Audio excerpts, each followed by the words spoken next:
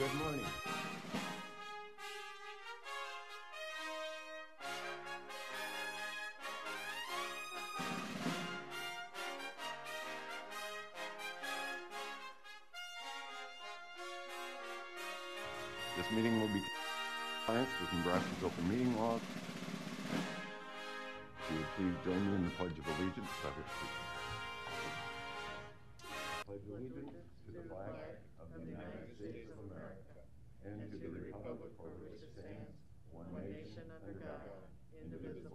Liberty and justice for all.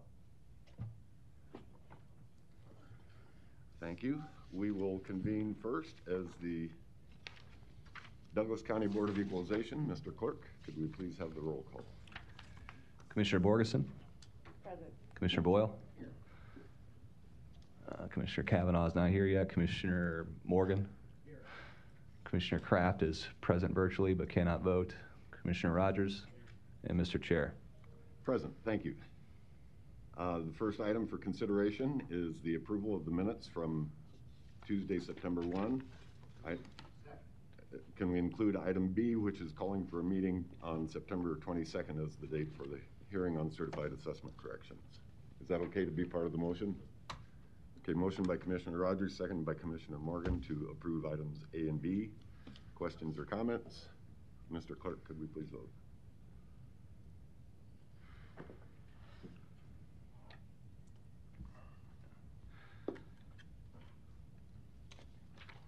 And uh, since I don't have access to the votes, I'm just guessing when you guys are done, so.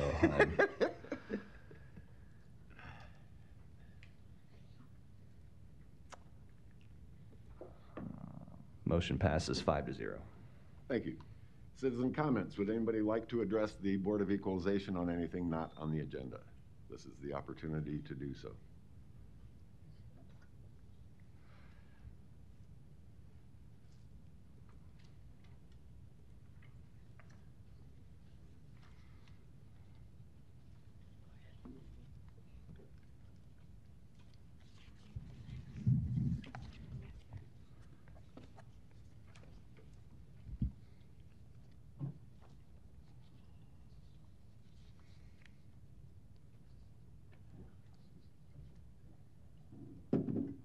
The floor is yours, Mr. Bowman. Um, My name is Monty Bowman with Avers.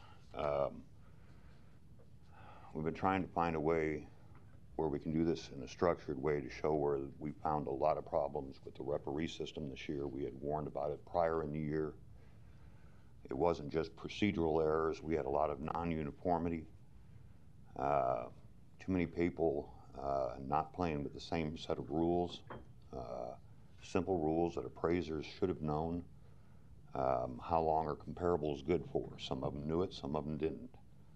Uh, besides the lost evidence, which will be coming up here as well, one of the procedural errors where confession of judgment had been used in the past was there had been um, husband and wife filed a protest. The wife did the protest herself, husband ran the business. She became terminally ill, passed away uh, won unanimously by the referee and the coordinator, and it was dismissed. It was during his grieving period he didn't get his appeal filed, but we had been up here at the board, and it had been determined that procedural errors such as that, if a person filed their appeal to TERC, uh, once they had their case number, then they could ask then to start a confession of judgment through county attorney. And what we are wanting to do is to show enough procedural errors other items for clients that did file their appeals because doing the confession of judgment, the evidence is going to change if they have to go to TERC. Mr. Bowman, I'm sorry. Folks who are on the Zoom call, please mute yourself if you're not speaking.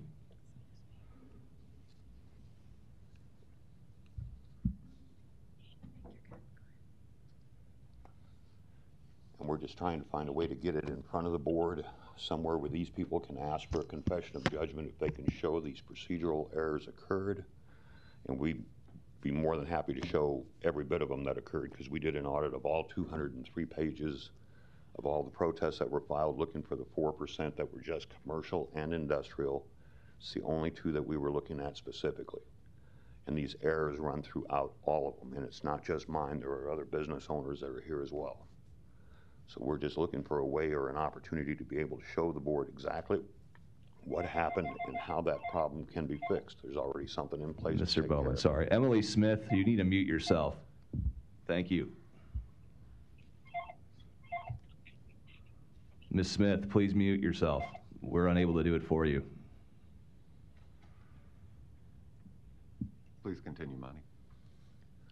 That's what we're trying to get up here in front of the board is, is there a way we can structurally have it to where these clients can show that there was some type of an error committed where they should be able to get a confession of judgment to try to get a fair referee hearing? There's a lot of simple ways to do it. The page that you have on your website, prior to us ever filing a protest, we share to the owners because it shows the documentation they're allowed to bring.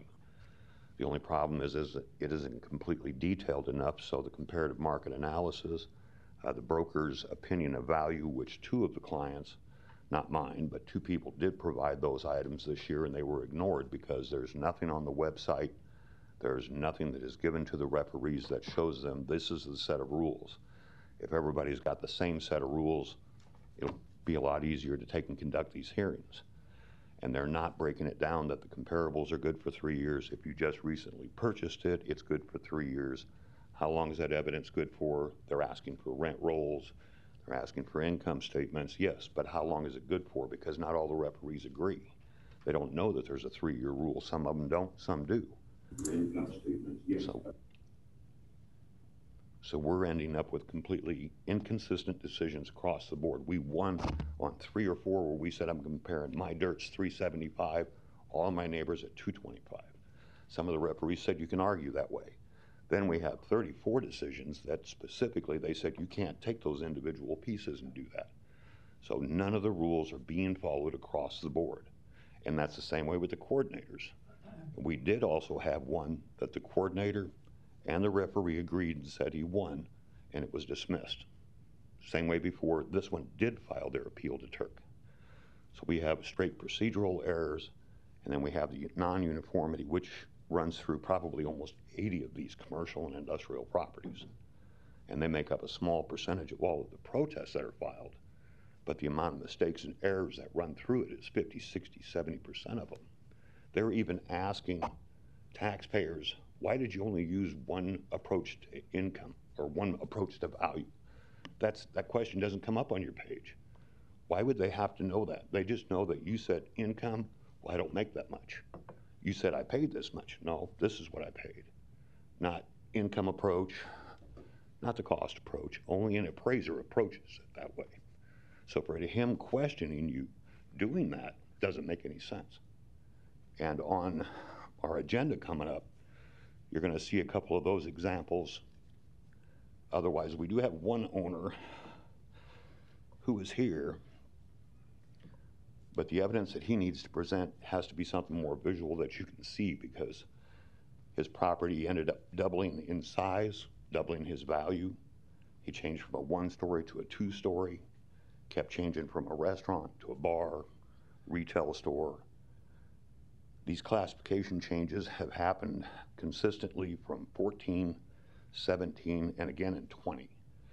And when you walk into his place, it's confusing because you see Nate stumble in, but it's actually a restaurant. And when you walk into a landing, there's a sign that says dining room down, banquet up. There's nothing about a bar, it just happens to have one in it. There's only nine stairs up, nine down. Full flight of stairs is 14 to 16 stairs. But they still call it a two story, and they doubled his size. And it was a one story for years. Those are the types of things that we showed the referees, and they said that there was nothing convincing in it that would change that. In two sentences, what do you want us to do? Set it up so we can at least show, Set it up? we can give you an outline of what these Excuse me. people are asking. Excuse me, set it up, did you say? We can, we can put together an outline for you of specifically a process to request confession judgment and Okay. why. Why don't you do that, put it, put it in writing to us in about just a couple of sentences, don't go on, because it doesn't help. Just a couple of sentences, say you need to do this, you need to do that, you need to do this, thank you, okay? Okay, and That'd put help. together the steps to show that this Thanks. has actually occurred. I don't, I, I, I'm just saying, you cannot go on for hours about it and talk about how many stairs there are in a building. That doesn't help. Yeah, because you're not going to see it. Give us a nutsh, give it in a nutshell, tell us, I need to have you move this to this place so I can get in, I need to have parking for this, I need to have this. Done it short, concise, tell us what you need, and we'll tell you if we can do it. But don't, don't go on and on and on and on about everybody. Okay, Doesn't I'll put help. something together for Tuesday. Okay, good deal, thank you. Thank you. Um, This brings us to resolutions D through F.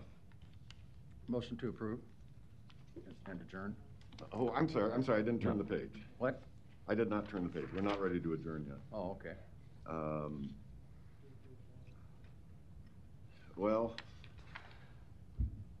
yeah, it would be D through L are the resolutions on, on the agenda. The-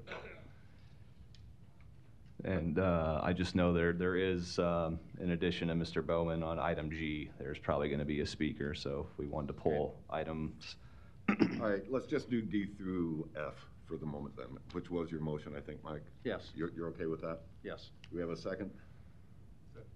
We have a motion and a second to approve resolutions D through F. If there are questions or comments to this, uh, could we please vote? one moment, please.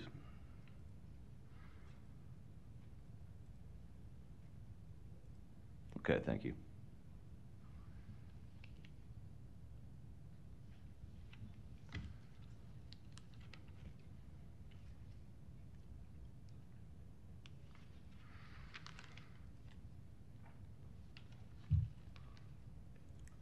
Motion passes six to zero. Thank you.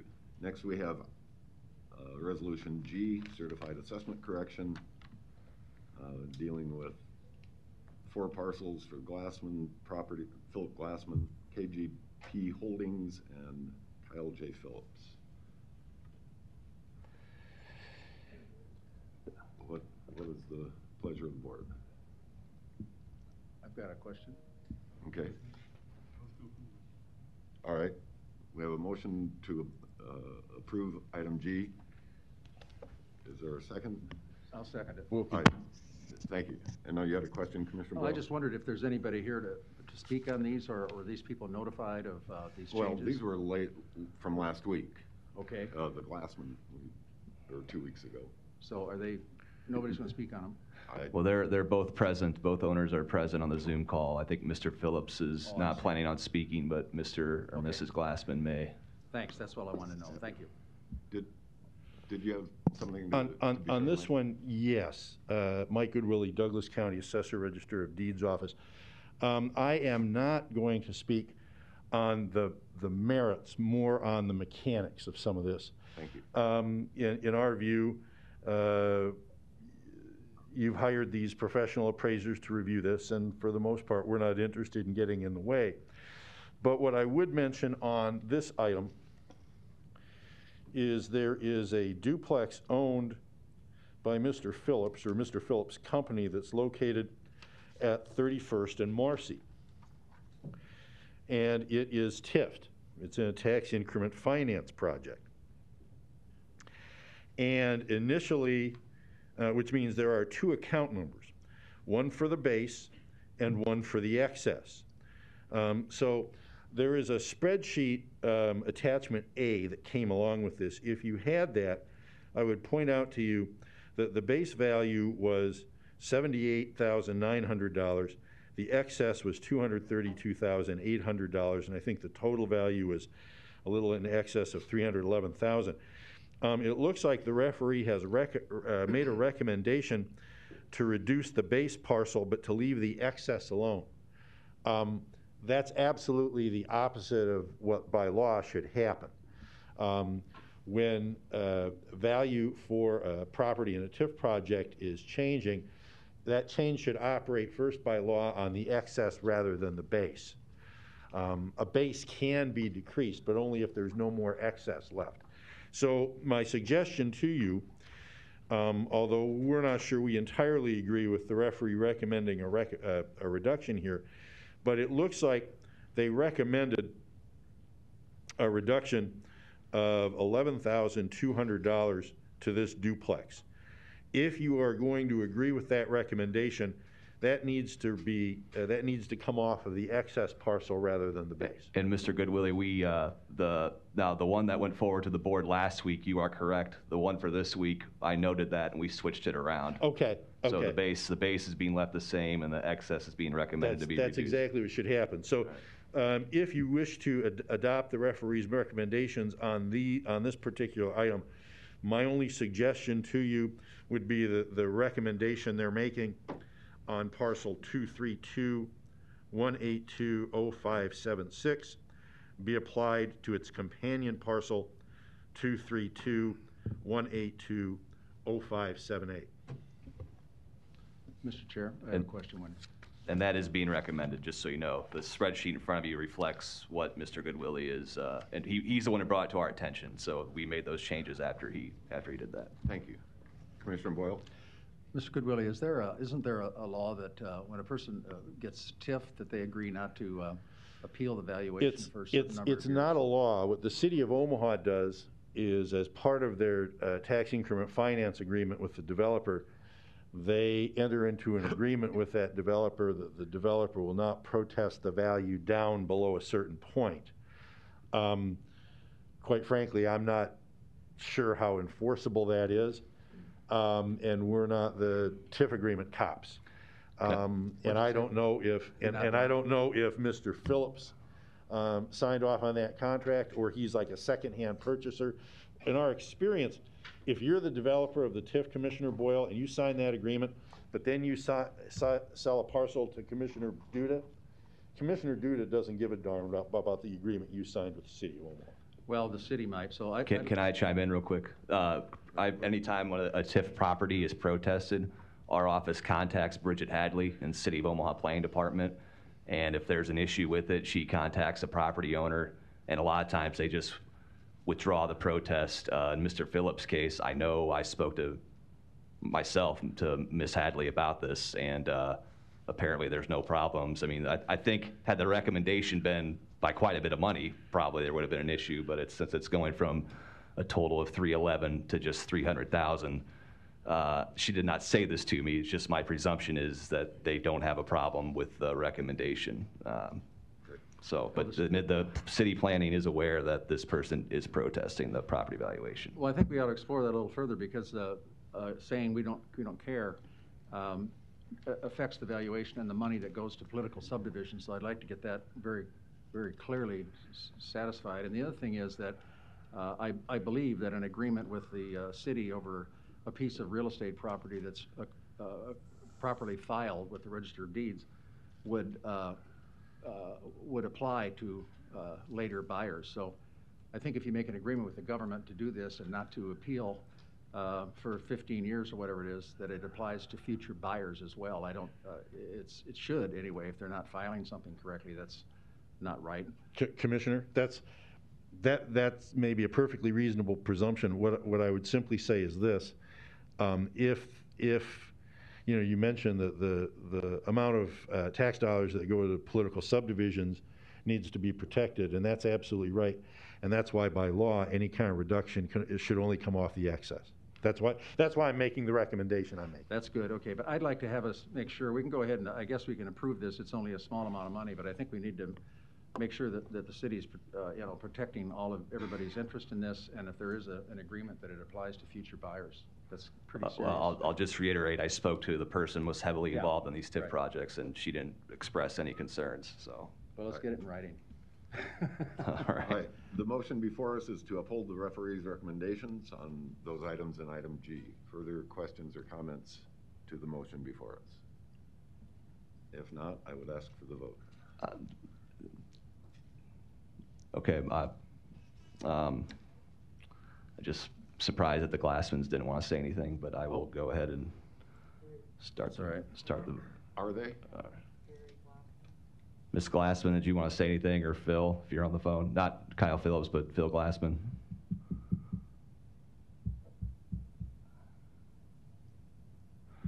Okay. All right. I,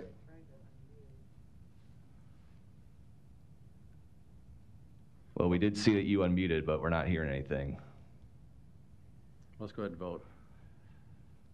Okay, well, the vote will begin. Okay.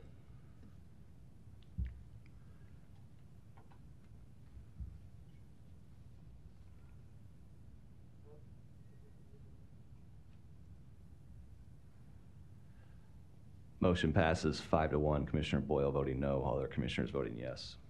Thank you. This brings us to item H. Um, We have three parcels here uh, for consideration.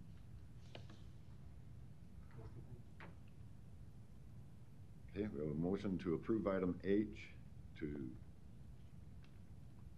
uh, uphold the referees, I believe this would be upholding the referee's recommendation. Yeah, and these three properties are recommending changes. Okay, all right, so we have a motion and a second to accept the referee's recommended, recommended changes in item H. Mr. Chair, could I ask, how did these get on our agenda? What, I don't understand who's bringing these. The referees bringing these, or who is it? It's, uh, Or we are, or- Dan Esch, County Clerk. So, um, basically, these are, there's various situations. And they, these, they get brought to our attention after the fact. And in these three parcels, the referees made comments and the written comments that are provided to the homeowner or our property owner and protester. Uh, the comments stated there was no supporting documentation submitted, and there was. So I can only speculate as to how it was missed, but we acknowledged, you know, I mean, we looked into it, and yes, there was supporting documentation submitted by the protester, so we asked the referee coordinator to please re-review the, the complete protest, because you obviously didn't look at all the documentation submitted. They did, and then they brought, and then they decided that, and we, and this wasn't, you know, these are, when these claims are made, we always make sure that the stuff was submitted on time, and it was. And uh, it was just an error on, on our part that, that caused all the documentation not to get reviewed. And once the referee coordinator did review all of it, he uh, came up with a different recommendation for these three protests. Okay. Well, my question is, if this, if this is, you know, there's three properties here, and if there were mistakes that that we made, uh, I think it, it just highlights the ineffectiveness of the Board of Equalization hearing these appeals. I, I mean, if, how many others are out there that didn't You know have to look at this? n- item 11 as well, because there are, there were 10 total evidence lost.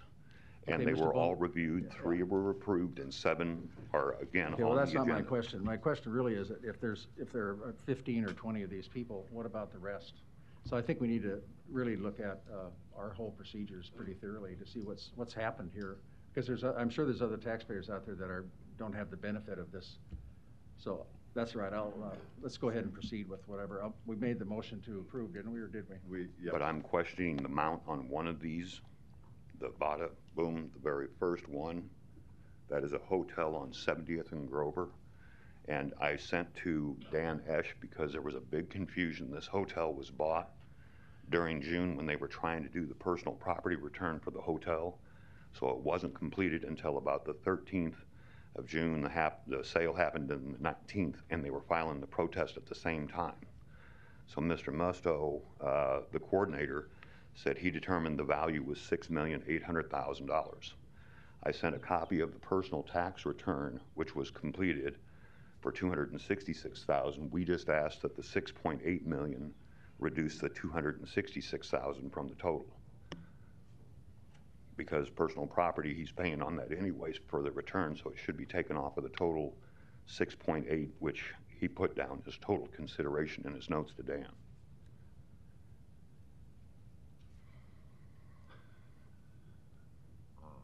Okay.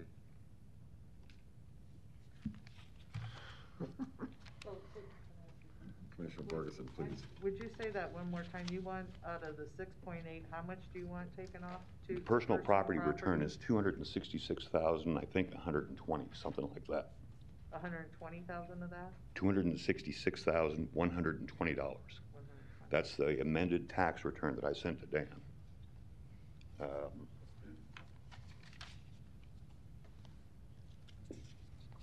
What- So what's the total property valuation you're, requ- you're requesting today for that property? It's the six million eight, which is what Musto required, uh, requested, Right, and then I sent the tax return, which was two sixty-six, one twenty.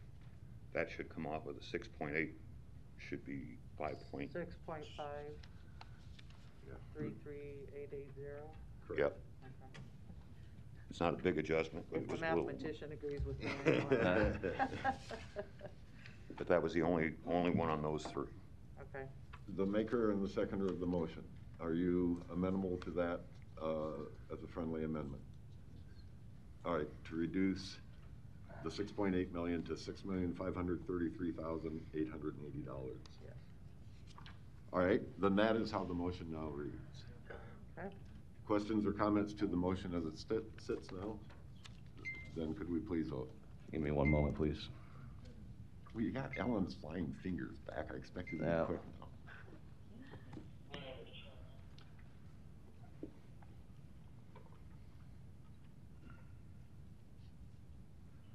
Okay, thank you.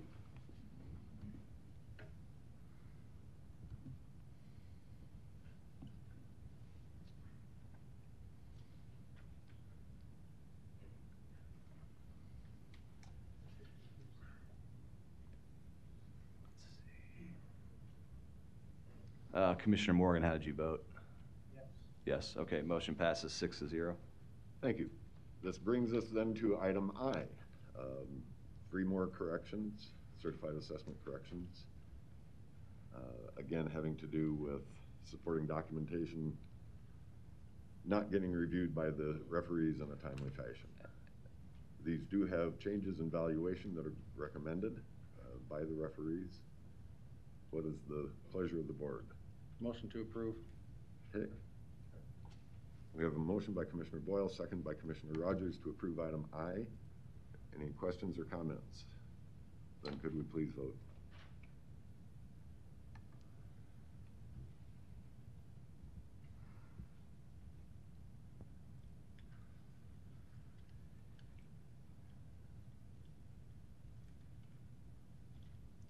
And Commissioner Borgeson? I did take one. Oh, voting yes? Okay, motion passes six to zero. Thank you. Brings us to item J. We have two items here. Uh, Again, changes in valuation are being recommended. Motion to approve. Pardon me. All right. Questions or comments to item J? Then could we please vote?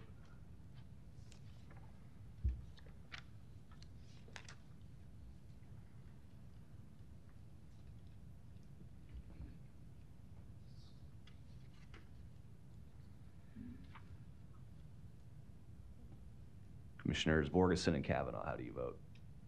Yes? What else? Yes. Oh, I'm sorry, Commissioner Borgeson, you did show up. I apologize. I'm missing uh, uh, Commissioner Rodgers. You vote yes, Commissioner Rodgers? Okay, motion passes six to zero. I have a question on I. I, Not Oh, shucks.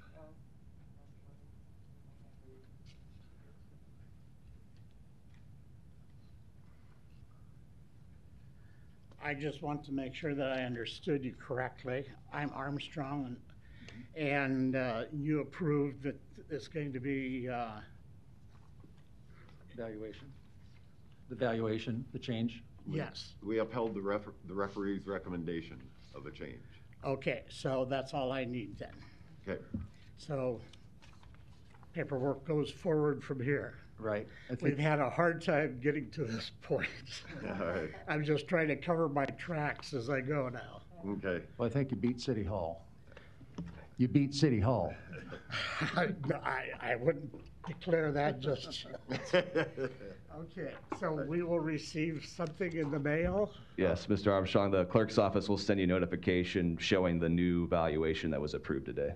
I appreciate that. Yep. Thank Thank you, you. sir. We will move on to item K. We have two parcels under item K. Um, There are no changes being recommended on these two parcels by the referees. What is the pleasure of the board? Motion to approve. Motion by Commissioner Boyle, was that Commissioner Rodgers, second uh, on item K. Questions or comments? Then I would call for the vote, please.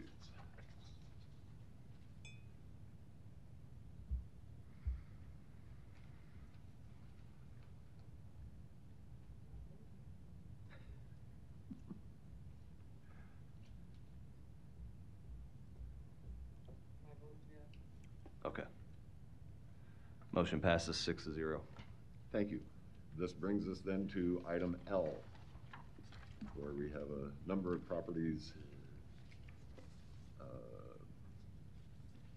There are no changes being recommended by our referees on these. Good morning again, Mr. Bowman.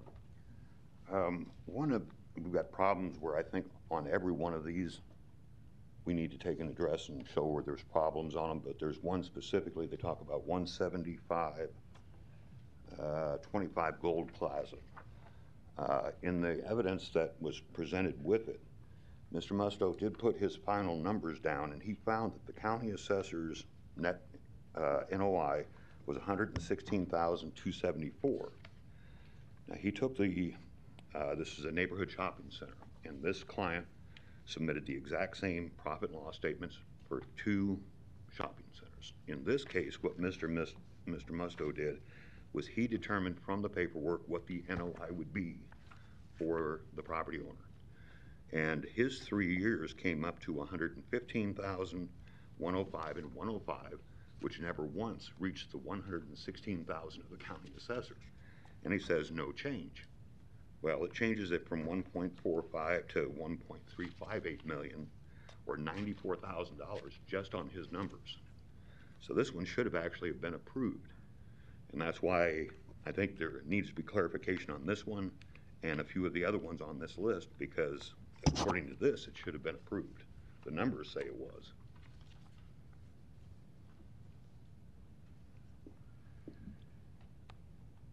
So instead, I'm sorry. Commissioner Borgeson? Thank you, Mr. Chair. So instead of the one point four five three five hundred, it should be what? Uh, it's one million, four fifty-three, four twenty-five. And then the actual amount would be one million, three fifty-eight, five sixty-three. That's using the same cap rate as the county assessor, it's just using his final NOI average. It's ninety-four thousand, eight hundred and sixty-two dollars difference. Say the difference again? Ninety-six thousand, or ninety-four thousand, eight hundred and sixty-two. That's on the NOI, not Yeah, the on- on the value. But he used that to calculate what Yep. it was, and that's the, where the difference is. I mean, his notes specifically says one sixteen, and there was only one year that they got close to one fifteen. The other two years were at about one oh five. So just looking at that, I was going, added up his numbers, and if he would have finished, but not all of the referees would do this, take the numbers and show you at least some of the formula, because then you can check the numbers. That's part of the uniformity problem, because his other, other property had a completely different referee who didn't even determine the NOI. This, we could at least see where there was an error, because we could see some of the numbers. That's why I said the uniformity drove us nuts, and then when we added this up, they're going, it doesn't make any difference. Twenty-two hundred a year in taxes, I think is still, qu- still pretty good substantial amount. All right, I would ask the maker and seconder of the motion what your pleasure is at this point. I'm ready to vote? As, as is? Yes. Seconder? Can, Okay. Commissioner Borgeson? Well, I think he makes a good point, though, in changing it from the one point four five three five hundred to one point three five eight five six three. Again, he's got the numbers to verify the, I guess, the, the error that was, that was made in the calculation of the value, so, um, would you guys be amenable to changing that one to one point three, Well, the figure, five eight, five six three? What was the figure again? amendment? Okay, that's fine. all right, seconder? One, All right, one, three, five, eight, five, six, three. Would be the new value on the Morris Heritage LLC. One seven five two five gold. Yeah. Gold Yes. Plaza. All right, so that's accepted as a friendly amendment. That's how the motion now sits. Questions or comments to the motion as it sits? If not, I would, does this include, can the motion include adjournment? I'm not Yes. aware of need for executive session. All right, then I would call for the vote. One moment, please.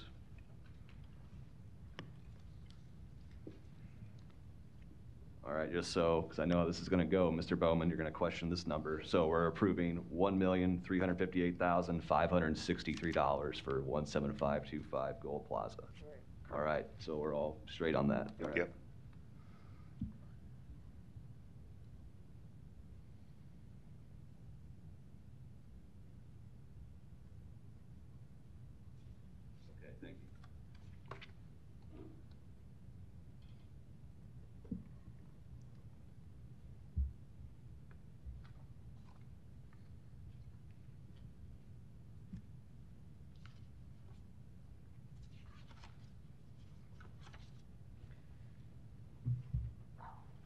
The other ones I'll address later.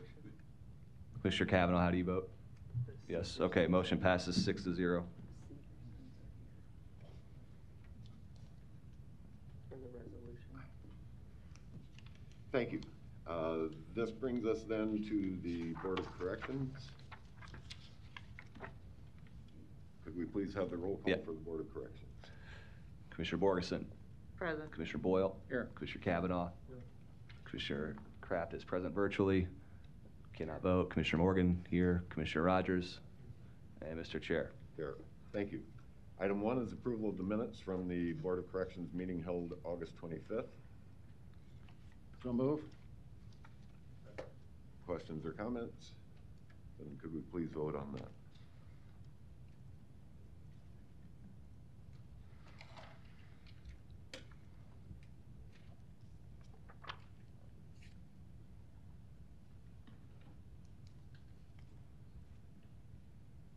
Motion passes six to zero. Thank you. Citizen comments, would anybody like to address the Board of Corrections on anything that is not on the agenda? If not, we will turn to the report from our Director of Corrections, Mr. Mike Myers. Good morning, Mike.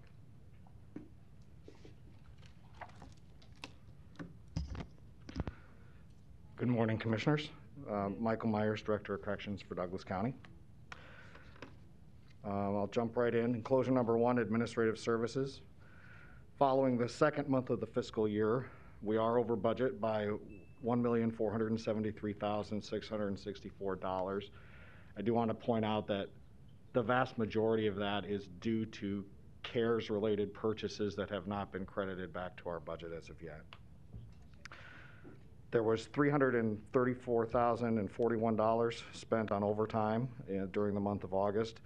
That was a decrease of 23,000 from the previous month. Uh, We did have a spike of overtime due to COVID-19 related absences during August, um, especially during the second half of the month.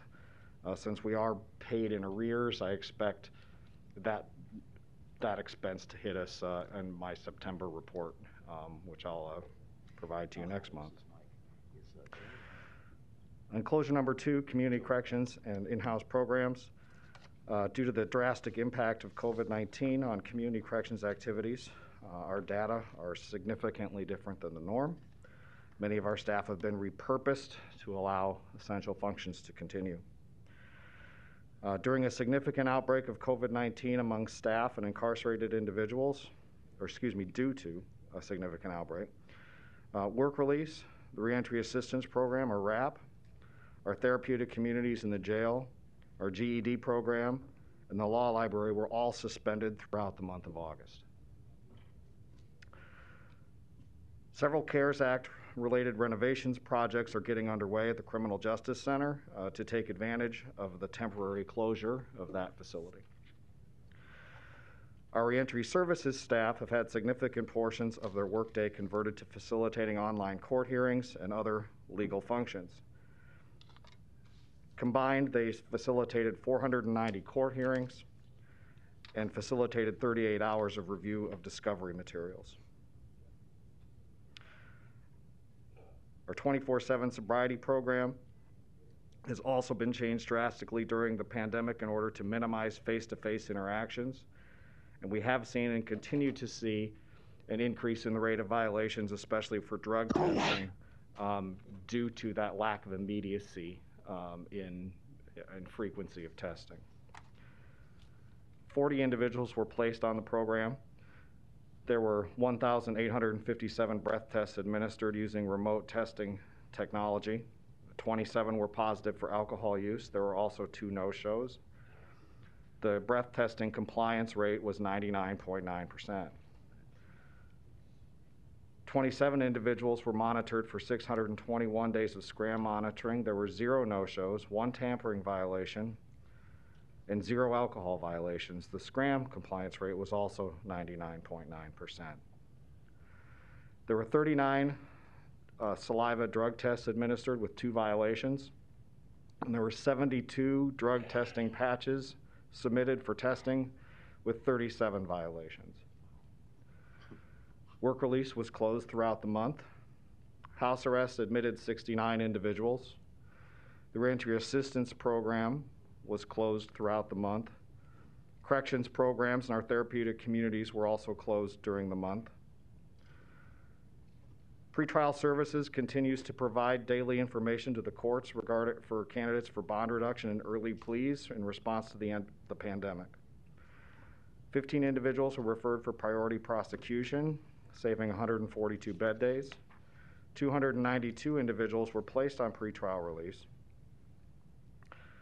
Over the course of the month, 1,244 individuals were managed on pretrial release with an 87% compliance rate and the law library was closed throughout the month.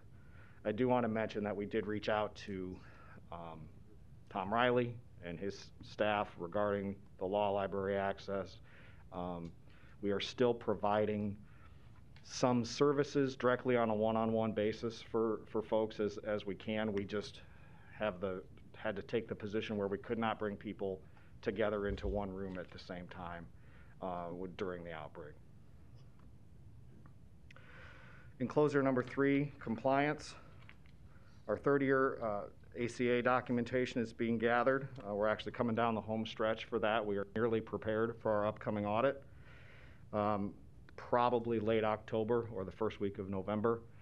And what I've learned actually just this week, it will sort of be a hybrid um, approach. They will a lot of the audit will be done virtually, where we will scan and send documentation to them demonstrating compliance with their standards.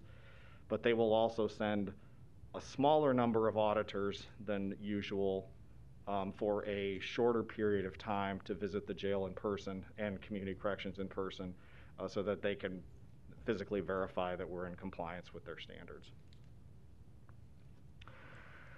Enclosure number three, uh, personnel. Uh, 13 officers graduated from the training academy on August 21st. Uh, 12 officers, all below the rank of sergeant, left employment in August. Um, the impact of shift bidding and COVID-19, in, in addition to our typical attrition, may have contributed to this increase. This is the second month in a row we've had a higher rate of attrition. Uh, one of the things that, when things maybe regain some, some sense of normalcy, that I want to work on is we, we do tend to lose staff after sh- in the month or two after shift bidding each every six months. Um, as staff may get assigned to shifts that just don't work for their personal life, childcare, et cetera. Um, that's a tough nut to crack to figure out how to how to resolve that, but um, but it is worth uh, the effort, I think, to try and to try and figure out if there is a, some middle ground we can reach with the union on that. Um, Sergeant Walter Cummings uh, also retired in August, and we talked about him um, last month. Um, we concluded the month having 370 of our 396 authorized uniform staff. That's a net loss of 11. We anticipate a class of 20 to, 20 to 25 new officers to begin training on September 25th. Um, so that should do at least get us back up to where we were a couple of months ago in our staffing levels. Enclosure number five, population. We had 1,338 admissions. Um, that's a decrease from the previous month. There were 1,278 releases. Typically, our admissions numbers and our release numbers are almost identical. I think we had a, there was the disparity this time due to um, court transports being suspended from the jail due to the COVID outbreak for, for two weeks during August. Um, that resulted probably in some people staying in custody longer um, because their court hearings were unable to be held. Um, our high count was uh, 1213. Our low count was 1,152. Our average daily population did increase. It was 1,182. Um, also contributing to that is the closure of the Criminal Justice Center, um, not being able to house folks over there um, bolstered the numbers inside of the jail as well. Uh, custodial bank sanctioned bed days um, were at 36, and again, I've said this to you in other months. I really want to give um, credit to probation for being very creative and finding other ways besides incarceration to hold their folks accountable. Um, every month, this number gets lower when I didn't think it could get lower um, the previous month. This number used to be up to, you know, around 500 bed days per month. Um, so they have really been re- responded well um, to um, adapting in the, in, in the pandemic. The U.S. Marshal population increased, the ICE population decreased, the felony pretrial population increased slightly, the misdemeanor pretrial population decreased, and probation violations remained steady. The female population, excuse me, has increased. Uh, one of the four female housing units has been has been designated as our quarantine unit. However, at the conclusion of the month, and actually since then, we have been have we have uh, opened up a fourth female housing unit because of increased numbers of females in the jail. Enclosure number six, medical. Uh, there were 1,245 intake screenings and 362 physical and health assessments. Inmates were sent out to the hospital 17 times for emergent medical care. Six of those were by 911. There were five hospital admissions, which resulted in 14 days of hospitalization. Enclosure number four, or excuse me, seven, mental health. There were 54 initial psychiatric assessments. There were 92 initial mental health assessments.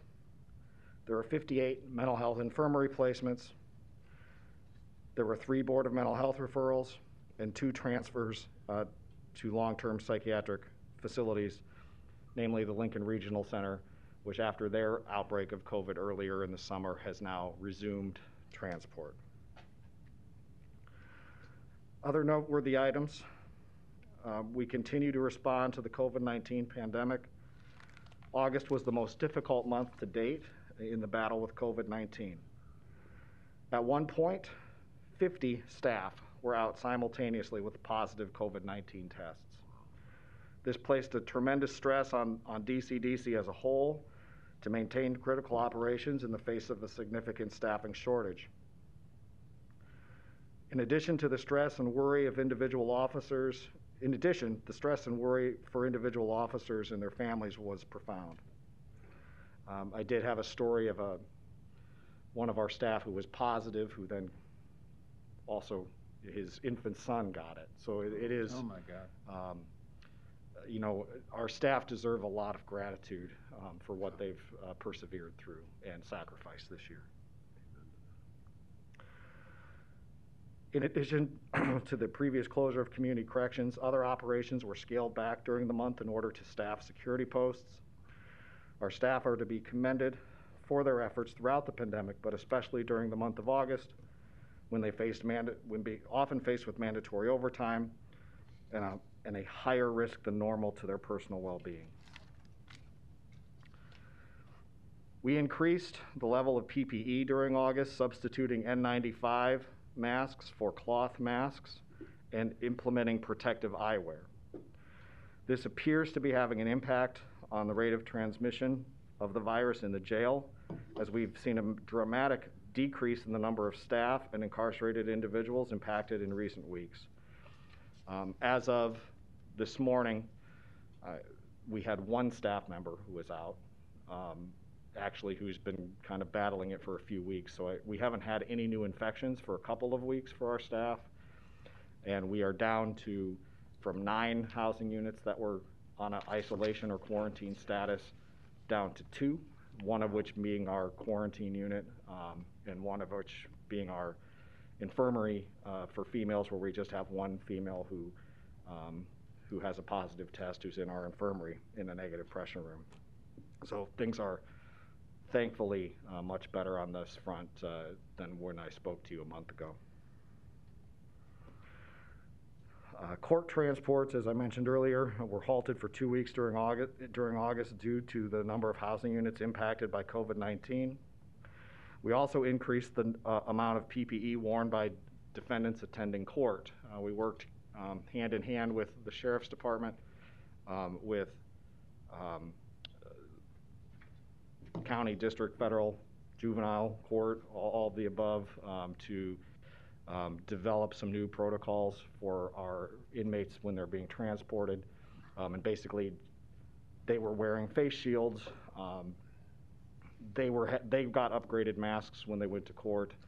Uh, We put hand sanitizer in the transport vehicles and made that available to the sheriff's office um, i- in order to alleviate the concerns that the courts rightfully had about protecting their courtrooms from infection. And court transports resumed just prior to the end of the month. Um, Proposals were received for and evaluated for pretrial release software, a body scanner, and tablet devices for the incarcerated population. Uh, The purchasing process of those items um, is commencing now in September.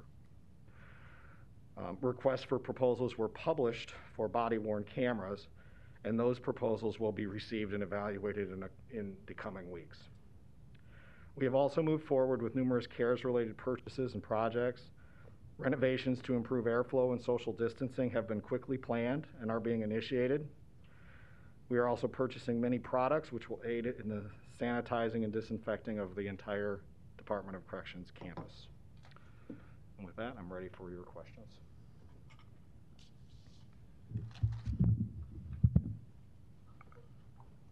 Let me start off by saying, you and your staff are doing an absolutely amazing job under very trying circumstances. And, and I wish there were more we could do to show our support and appreciation for what they're doing. It's most impressive. Thank you. Questions or comments to the director? Commissioner Boyle? Cavanaugh's up. Go ahead. I just didn't know, he didn't know you were asking. Let me- I wanted to ask, um, if I could, on uh, some of the acronyms that you use. The only one that I, I always forget is SCRAM. If when you, uh, could you spell out what that is? Sure. Just, you Um, know, like you do the other ones. That, um, I don't know if I could tell you what great means. You don't have to this But I can tell you what it is. Um, Okay. It is, uh, it is the brand name for the ankle bracelet, Oh, yeah. which that's right. people wear to detect alcohol use through their Okay. skin. Okay, if you just spell out what the, what it is before the word, the acronym, that'd be helpful. And we'll do that. Uh, That was on behalf of uh, Commissioner Kraft. Um, I wanted to ask about, uh, not really, I'm just joking. I wanted to ask about bail. Uh, We, we talked about trying to do something about people that are stuck uh, in your facility uh, due to being un- unable to pay bail. Are we making any progress? I know you're, you're taking care of a lot of good people and getting them moved up and accelerating things. Uh, But I, I, uh, and I don't want to ask you for more reports, but uh, I, I'd be interested in knowing how many people are, you know, are in the uh, facility uh, that are sitting there with, you know, uh, uh, a $500 bail or less. And um, so I don't, Commissioner Borgeson worked on this quite a bit too, so I'll stop asking that question and let her pick up if she wants. But I'd, I'd like us to, and I know there's some resistance from the prosecutors and also from some judges. I brought it up at a criminal justice meeting and I almost had to have uh, security before I left. But anyway, I'd like to explore that further. Then the, um, on the law library, I wonder whether um, there isn't something we could do with, um, particularly with all of the children using uh, tablets, if there isn't some way we could uh, allow prisoners, uh, you know, it would, to have tablets with very limited access, uh, so they could continue to research their legal rights Absolutely. uh, without going into the facility. I'd like to see us explore that, and maybe the Bar Association or somebody else might step up. So we, um, this is not an immediate solution. Okay. um, But we actually do have, I- I will be selecting a vendor, um, and it'll probably come back before this board um, within the next couple of weeks, specifically for tablet devices that are designed to be used inside of correctional facilities. Great. Um, And they do have um, law library content. Good. um, in, in- in in addition to a host of other benefits. All right. Um, Well, when we bring that to you, it's actually, the benefits to those are, are uh, quite um, robust. Right. And so we'll, I'll, I'll do a short presentation on the highlights of all of the benefits that we'll get from implementing that resource. All right. And then I want to ask a, a question I've questioned all along, and I, I guess I did like, kind of, kind of like an update on the ACA. You know, is it, uh, uh, what do we get out of that, and what do we pay, and uh, is it really, uh, is it effective? I don't need a, a comment today necessarily, but if you have something in the future you'd like to present, or if you'd like to comment now. Um, why don't you mention what the I- I AC ca- can tell you that we, we pay the American Correctional Association once every three years for two audits, um, one for community corrections and one for the jail. Um, I believe this year, I- I'm going to give you a ballpark, it was in front of the board a month or two ago. Um, uh, 20,000, Okay. um, I think was the, the ballpark figure. Um, It, what, what compliance with any outside um, set of standards provides us is, is a check to make sure that we're keeping our eye on the ball in terms of our day-to-day operations. You know, we can do that ourselves anyway, but it's some, it, there is some benefit to having Okay. somebody who doesn't see the same things you see every day, uh, that you can start to, to maybe overlook, um, to, uh, to provide that feedback. We also, just as a reminder, um, by being accredited by the American Correctional Association, we, there are some tangible benefits into the number of beds we have in the annex. Uh-huh. Um, ACA's standards are, tend to be more updated and modernized compared to Nebraska jail standards. And as long as we're accredited by the American Correctional Association, we do not have to revert back to the American, or to the uh, Nebraska jail standards, um, which create some issues for us in terms of housing in our annex. Okay. So there is a, there is a very tangible benefit. Okay. um, Well, I think the charge sounds pretty reasonable. I thought it was a lot higher for some reason.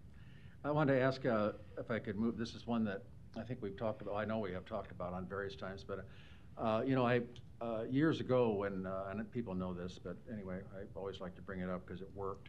Uh, I talked to the police officers about going to a 4-2, 4-2, 5-2 work schedule so that even the lowly officer on the street gets a weekend off every, every, Right. every few while, every while.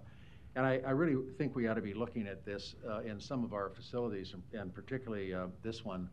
Uh, And I, we have to work with the unions to give it a try and uh, see what works, but I sure would like to try that. But now they're, on- I think the police are on a straight four, four-two shift, where they work four days off two, four days off two, uh, all the way through, which, which really is pretty helpful, helps, I think it helps with morale and helps get people out of, out of the job. And anyway, let's look into that further. Um, Then um, uh, we can talk about that another time and get something moving. Finally, I wanted to ask about when uh, all these people were brought in, the demonstrators were brought in a couple, a month ago or whenever. um, I assume we charged the city for all of that activity?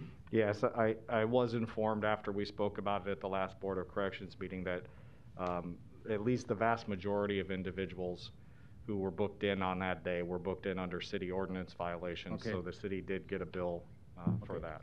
Thanks a lot, Mike. Keep it up. You're doing, I I did talk to Mike about this. I know the red light's flashing, but I talked to Mike on the phone the other, other uh, evening about the possibility of uh, putting together, and I've got some campaign funds that I'd be willing to contribute, putting together some kind of a nice food buffet of uh, maybe going to somebody like Orsi's and some other places and getting some food and some fresh fruit and uh, for a 24-hour thing in their, one of their rooms, so people can have some fresh food, give them some notice of it so they don't bring lunch and everything, and let them know that we care about them, we're aware of them and, and what's happening.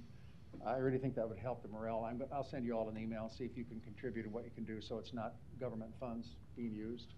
And finally, I do want to mention, of course, we had a, one of our employees who was injured, and uh, I want to mention just that it was an employee who was attacked and has, a- apparently has a broken jaw. And there was another uh, officer who got into the mix and tried to defend him and get the uh, perpetrator off, and uh, he has some problems with the hand. So I just want to let those people know that, uh, and I've talked to Mike about, it, let them know that we're aware of the injuries, we are uh, on their side, and we, uh, you know, really hope they heal very quickly. They're good people. Thank you. Thank you, Commissioner. Commissioner Cavanaugh. Thank you. Um, I would uh, endorse uh, Commissioner Boyle's idea about uh, sending some assistance to our brave uh, correction officers. And, and on top of that, I think that we should entertain uh, augmenting them uh, with uh, a real um, demonstration, which is hazardous duty pay for the COVID exposure that they've all experienced. You recommended, uh, I think, some uh, things on COVID, but, you know, they're on the front lines of that, and when you had that huge outbreak, um, it takes its toll. We've had this at the health center too. I think that all of our people uh, that have been on the front lines of battling COVID have been uh, put in harm's way and deserve uh, hazardous duty pay that we could easily uh, compensate them for out of our CARES thing. So I think sheriff's deputies, uh, corrections officers, uh, health personnel all deserve that. And that, I think, on top of Senator, Commissioner Boyle's idea of sending them a buffet is a real demonstration that uh, we care about uh, the hazards that they've faced on our behalf. I have a few questions for you. Thanks for this. Um, And, you know, the reports just seem to get better and better. I just have a couple of style points because No problem. um, It's difficult for me to pull out some information sometimes. But um, on the uh, racial trend, page 42, um, if you could, uh, include with that actual percentages of population. I had to go through and pull off the graph and ballpark it as much as I could. But from what I could see, um, the um, minority population of the correction center is uh, almost seventy percent. Uh, And it would be easier if you just Right. applied those numbers. The actual percentages are obviously available because you've got the, the graph there, uh, so that we could see at a glance, what's the population? And, and that would require combining the male and female population. I understand the breakout and I appreciate it, but if there could be, you know, an overall, there's forty-five percent African Americans, which it appears there are, and almost fifteen percent Hispanics, which it appears that there are. Native Americans are another four percent, and others are another three percent. If we could have that at a glance, kind of as a summary, that would be helpful. Uh, But thanks, uh, this is a, a great report. Um, The overtime on page eight, um, which is understandable with the COVID outbreak that you've dealt with, that there would be uh, some overtime expenditures. Um, And uh, it looks like um, the um, expenditures over time were coming down, and then you experienced this outbreak, and obviously you were missing a lot of people, and you had to put people into overtime. Is that That's correct? correct. Yeah. Uh, Because on page seven, when you do the personnel, um, the authorized versus on-hand, it looks like you were making really good progress uh, up until the onset of COVID, and then it's just kind of plateaued. Uh, Is, is Yeah. that You know, pretty much there's, connected? I, um, it, to an extent, yes. We've had a, there, we have had a handful of staff who have, um, underlying health conditions who their physicians recommended that they probably need to find a different line Okay. of work or to retire, and some of those things have happened. Right. Um, we have also had, um, like I said, the impact of shift bidding seems to impact us, um, in the aftermath of that. Okay. Um, and, and, and there's just a, a variety of reasons, you know, um, some have left to go on to college and, you know, pursue Sure. other opportunities. Um, there's not, I think the COVID has exacerbated it, um, and brought it higher than what we would expect. Um, but it's not all attributed to COVID. Gotcha. The uh, population on page 35, um, you know, I- I I got to say, it it appears to be uh, uh, fairly stable. I would just point out, it's a little difficult to read. I think there was a Yeah. typo or something in in setting this up so that numbers are overlaid with numbers. Uh, yeah, I I can kind of make it out, but it's, again, just kind of a a style point. But um, I think that's a good thing in light of everything, that our population's, you know, kind of plateaued a little bit. Uh, I, I, I see that in relation to your authorized staff and, um, you know, considering that, uh, you are authorized at four hundred and seventy-six and you're at four thirty-nine, you're, you know, really stretching it to, to get the, the job done. And then on top of that, with the COVID absences, um, I see that there's, um, a, a CARES, uh, Act airflow cost, uh, that you are installing, is that right? That's correct. And, uh, do you recall the exact cost of that CARES Act airflow? Um, There's a couple of different aspects to that. I would probably, I would rather defer to public properties to, to give you the exact cost on that. Okay. We will do that. Um, This is a really good report, and all in all, considering the tough times that we're in, uh, you're doing a super job uh, with uh, a remarkably uh, resilient staff, so kudos to you and the, the people that work there. Um, The um, report, I- like I said, just keeps getting better and better. These little tweaks are not meant to be anything other than constructive observations, so thanks for this. Thank you. Thank you. Further comments or questions for Mr. Meyer? All right, then thank you, Mike. Thank you. Good report. We do not have need of executive session that I'm aware of for the Board of Corrections, and we are at the end of the agenda. I would ask for a motion to adjourn, So move. and I will declare it adjourned. We will now convene as the Douglas County Board of Commissioners. Could we please have the roll call, Mr. Ash? Commissioner Borgeson? Commissioner Boyle? Present. Commissioner Cavanaugh?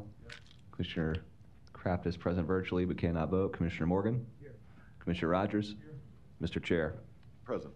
Thank you.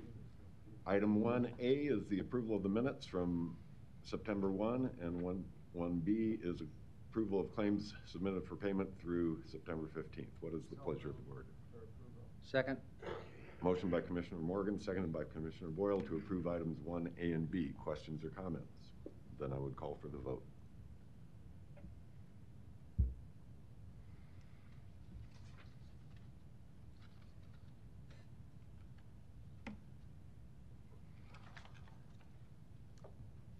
Motion passes six to zero. Thank you. This brings us to the consent agenda, a fairly long, we have items A through O. There are two changes I would like, like to make to the consent agenda uh, before we consider action. On item A, the very first one under Mr. Doyle's things, the last one in there, item eight, uh, should be on next week's agenda. I would like to strike that from this week's agenda. And then there is a correction in item G3, where it says, uh, D.R. Anderson is to provide renovation, it should be of the Douglas County Health Department, not Health Center, Epidemiology Office. What's the item? G3 should say Health Department, not Health Center. Got it. What is the pleasure of the board? Motion by Commissioner Rodgers, seconded by Commissioner Morgan to approve the consent agenda with those changes. Questions or comments to anything on the consent agenda? Commissioner Cavanaugh. Um, Just as a point of clarification, on item N, uh, under number one, it says contract claim for Alexandra A. Johnson and ROP eight. Is that FOP eight or is? Oh, yes, it should be FOP. So I guess that's another correction All to right, the. all right. Um, The um, item J, resolution approved, approving the schedule of funds transferred for the 2020, uh, 2020, 2021 fiscal year, budgeted $16 million. Uh, Mr. Lorenz, just for the public's edification, if you could uh, tell folks what's going on, that's a significant amount of money.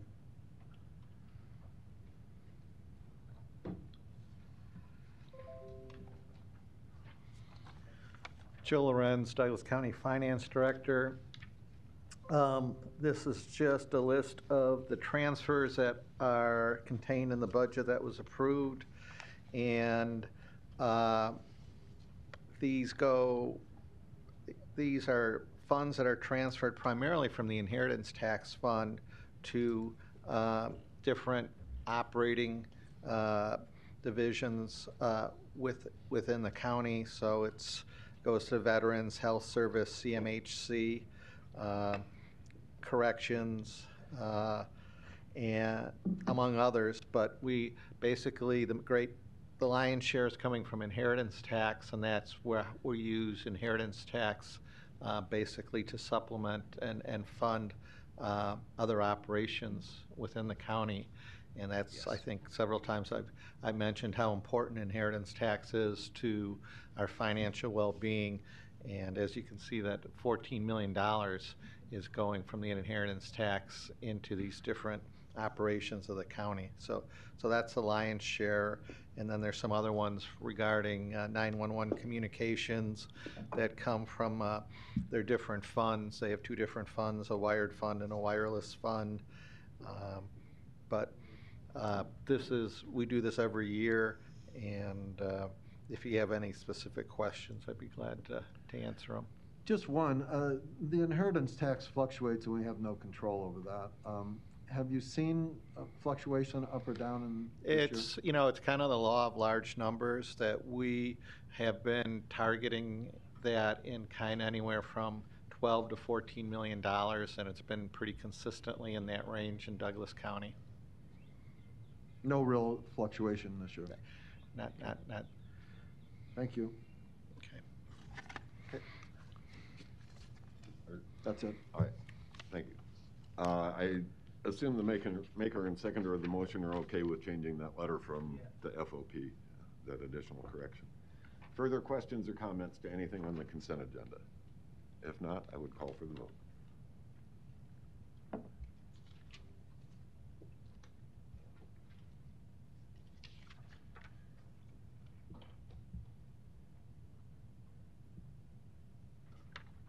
Motion passes six to zero.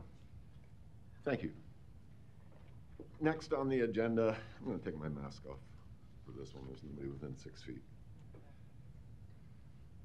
Uh, Citizens, if- if- whoever is here, if you would come down for this, I would, I would appreciate it while I read a resolution to a old friend. Resolved, whereas Mr. Chuck Sigerson was a longtime political leader in the state of Nebraska who was motivated to help others. And whereas he led the Nebraska Republican Party from 1995 until 2001. And whereas Mr. Sigerson was elected to the Omaha City Council in 2001 and served three terms as a councilman before health problems forced him to resign in 2010. And whereas Mr. Sigerson was credited for being a change agent in the community and having a passion for service. And whereas he loved the city of Omaha, the state of Nebraska, and his family. And whereas Mr. Sigerson died September 6th, 2020, at the age of 75 after a decade long battle with heart issues. And whereas Mr. Sigerson is survived by his wife Elizabeth, son Andrew, and daughter Anthea. Now therefore be it resolved by this Board of County Commissioners that we hereby honor the life of Mr. Chuck Sigerson and recognize his longtime commitment to public service, dated this date. Second. Commissioner Borgeson? Thank you, Mr. Chair, and um, thank you both for being here today. Um, We just felt it was important to recognize Chuck um, for all that he's done um, for Douglas County, the city of Omaha, and the state of Nebraska. He really was a, a pillar during his time of service, uh, public service, and we appreciate um, so much and wanted you all to know um, how much we appreciated him. You know, I do remember, um, and Commissioner Boyle, I'm sure we'll talk about this, but I actually remember when he was chair of the Republican Party and um, Commissioner Boyle's wife Ann was the chair of the uh, Democratic Party. And, but I, I, uh, one of the things that impressed me was there could be civil discourse respectfully. Yes. And they made sure of that. And we need so much of that more today than what we have. We need to go back and kind of bring back what that was when Chuck and Ann were at the helms. Yeah. Because they did a fantastic job.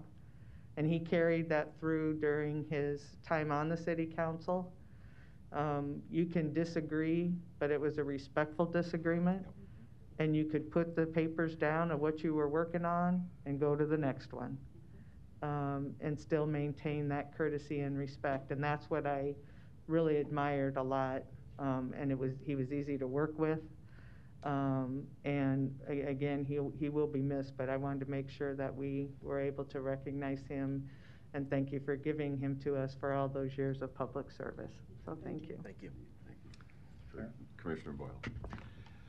Well, it's, uh, it's always, uh, you can tell, I can tell when uh, there's uh, genuine uh, support and interest in, in doing something on the county board, and that was, there was a scramble to get a resolution on quickly. And I received notice that it's always in the mill and all that, so, uh, and that's always, that's a great, great sign, and it's absolutely a very subtle tribute to uh, your dad and to your husband. Uh, And uh, I tell you, Ann enjoyed so much uh, uh, work- working with him, and I remember, um, you know, she was up in Norfolk with Chuck, and they were speaking to a very, very Republican group, you know. And of course, there was somebody by the name of Lewinsky who had kind of messed up the presidential office a little bit.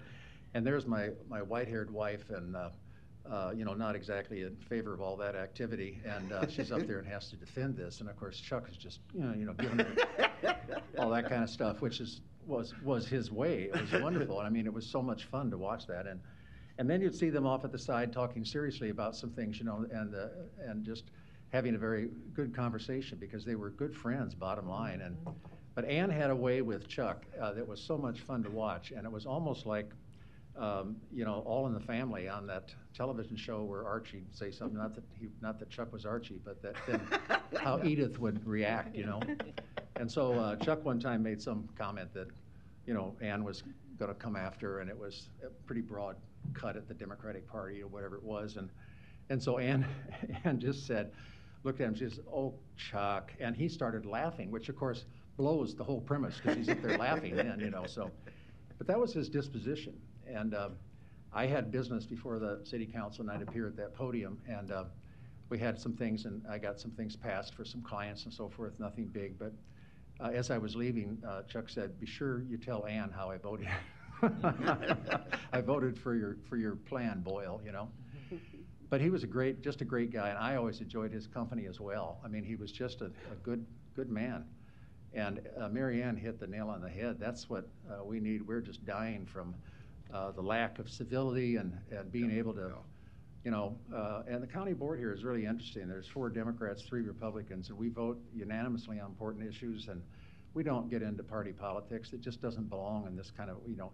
Ann always said you were elected on a party label. Her father said this, and once you get there, you serve the people, you don't serve the party. And um, that was Chuck, and that was Ann. And I have a feeling they're going at it. What do you think? But it's, uh, he was a great guy to work with, and uh, I I just can't say enough about him. I loved him dearly, and uh, just a class, class guy. So Thank you. Sigerson name is a very good name for me to remember. Thank you. Thank you. Congratulations. I, I would say that Chuck truly epitomized the passion and statesmanship Yeah. that we should all be striving for. That's right. Okay, uh, further questions or comments? Then could we please vote? Uh, And Liz, I mean, Yeah. you're, you're welcome to respond if you have any, any comments you'd like to make. Well, I would like to thank you very much for doing this. I mean, it's a great honor for us. And uh, Give your mom although the we'll miss him microphone. terribly, I mean, oh. Yeah. I'd like to thank you very much for doing this. I mean, we'll miss him terribly, but the last 11 years has been a difficult time for him, Of course. and he's at peace now. Yeah, Nice. that's right. Thank you. Thank you, Liz. Thank you. Thank you. Andrew? No, I, I would just, I would concur that, uh, you know, when I was growing up, um, it was partisan, but it ended when we were done talking politics. And uh, the last, I don't know, several years, that's just not the way it is. And uh, we just appreciate you guys recognizing him with this today. Um, he loved this city and Oh, this yeah. community. So, thanks. Thank you. Thank you. We got to vote? Um, Assuming this passes. Motion passes six to zero, and I, I could take a photo if you guys want me to. That'd be nice.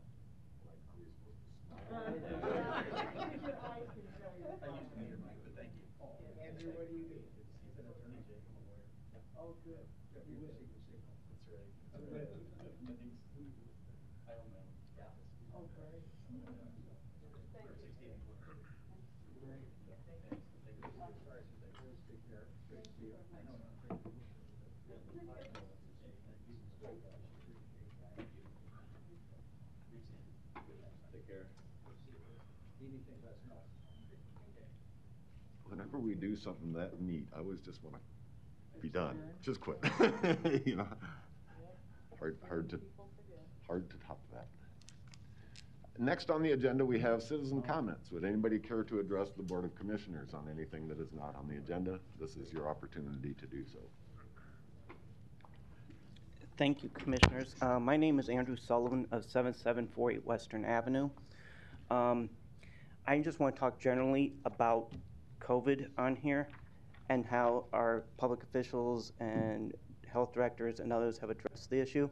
I know that information changes rapidly, and it's easy to have this monopolize our thinking in health, but I have three concerns that I wish to address.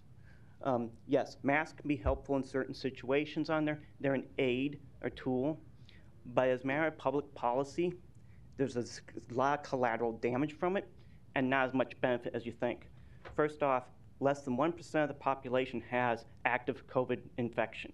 That means 99% of us wearing these masks in public have no infection we could spread even if we wanted to. So that means it really needs, depends on the situation, what you're dealing with. You have to know you're infected, you have to know someone's infected, you have to know that you're around people that are infected and so forth.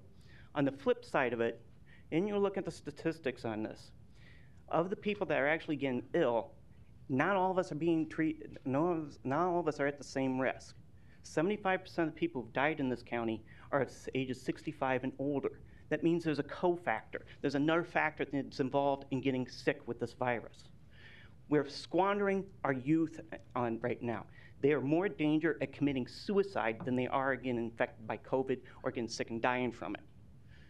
The second point I wish to make, make point of is we've got so panicked and let the fear run so quickly, we keep changing the goalpost. First, it was to level the curve, flatten the curve. Well, now our hospitals are fine, that we can handle it. We're doing fine. But we're told, oh, we need to bring the positivity down to these tests. And I'm saying, all you're doing is extending the crisis. You're only forcing people to stay home. I mean, if, if I'm told, geez, we have to wear masks, geez, maybe I won't go out and it's causing sociological and uh, psycho- psychological damage. I got neighbors that have not been out since March. And the third part I wish to make is I really wish we had health people, medical professionals, that were doing the scientific inquiry because here's one piece of information that keeps being dropped out. The people getting sick with COVID 19 have substantial vitamin D deficiencies. Vitamin D is a very peculiar vitamin. You don't get most of it from diet. You get it from the sun, and the sun is temporal. As days get shorter, the nights get longer, we will all have vitamin D deficiency unless we're taking something that has supplements or is actually fortified with vitamin D. That's something we need to consider. But I've heard no advocacy from the public health community on that fact. And those are the type of things that we need to be looking at. Um, if we continue to make this an unending crisis, we're going to lose our cities. There's no reason for me to go out in Omaha. My friends don't go out. Most of my org- social organizations haven't met since March. So what am I supposed to do? Why stay in the city? I may as well just go out and farm and retire. So I really wish that we take, think about that comprehensively and regarding public health. We think that the virus is the worst thing in the world. It's going to turn out it's not just a respiratory disease that we just have to deal with. Historically speaking, for those that are looking forward to a vaccine and think that's going to solve it, I have news for you. We don't have very good vaccines for respiratory diseases. And it's true of the flu vaccine. If you ask your doctor about it, they can tell you. And that's the fact. So we have to look at all the factors involved of how we deal with public health. Screaming, scaring, putting all your eggs in one basket and assuming, well, the masks are the golden ticket. No, they're just a tool. and I appreciate your time. Thank you very much. Thank you. Thank you, Andrew. And we aren't supposed to respond, although retiring and farming aren't necessarily the same thing. I would- As a- as a farmer, I would have to make that point. but- Uh, Others, this is the opportunity to speak. Good morning. Good morning. Uh, I'm Dr. John Else, a retired uh, university professor and nonprofit executive. I- I'm sorry, John, I missed your last name. Else, Thank like you. anything else. Okay, very good, thank you, sir. I'm 81 years old, though most people don't recognize that, even my doctors and nurses. Nice. Uh, I started my career in the civil rights movement in Mississippi in 1963 to 65.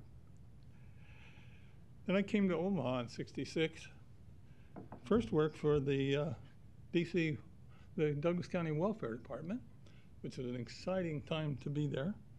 Uh, and then joined the GOCA staff to create the Greater Omaha Community Action, the first anti-poverty program in Omaha.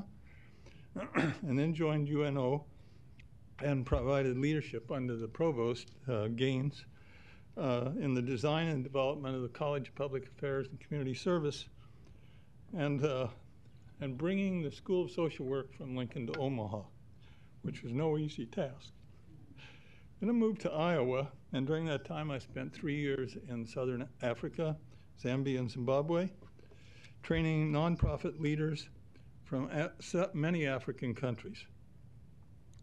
After return from Iowa, I resigned from the University of Iowa uh, to, from Africa. I res- retired, resigned from the University of Iowa, and created a statewide nonprofit uh, business development and loan program for welfare recipients and other low-income populations I'm, I'm just, Iowa, Nebraska, which? state? Iowa. Thank you. in Iowa. Okay. Uh, It was part of a six-state demonstration program nationally, and we were one of the outstanding performers in that, had over 50% success rate after five years with small businesses. Uh, Then uh, I re- I retired in uh, 2005, so 15 years ago. And after my wife's retirement from the International Reading Association in 2009, we moved to Omaha, where our children and grandchildren are. In 2018, I began to, as a volunteer consultant with New Life Family Alliance. New Life Family Alliance, NL, NLFA, uh, which is the only multi-tribal uh, South Sudanese organization in Omaha. Uh, Omaha has the largest South Sudanese population outside of South Sudan. It is the world capital uh, of S- South Sudanese. Has 15 to 20,000 people, the largest refugee population in Omaha, and another 10 to 15,000 in Nebraska. in, ni- in, in 2011, most of us weren't aware of that.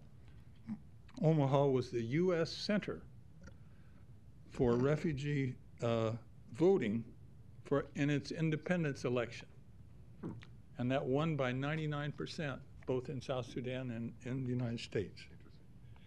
Uh, so South Sudan became independent in 2011.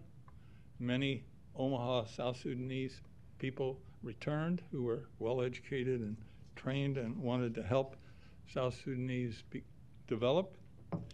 But within, after two years, uh, civil war started in South Sudan. Uh, and I should say, South Sudan is an almost entirely Christian country. Uh, it was at war for 30 years with uh, the northern part of the country, uh, which is entirely Muslim.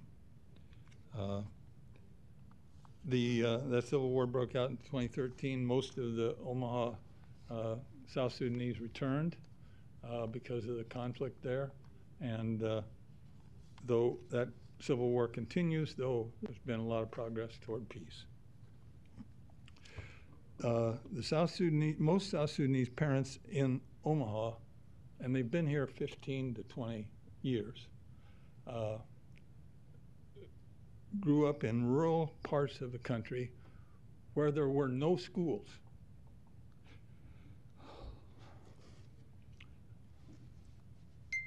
Sorry, they can't read or write their own language. And they're afraid to try English.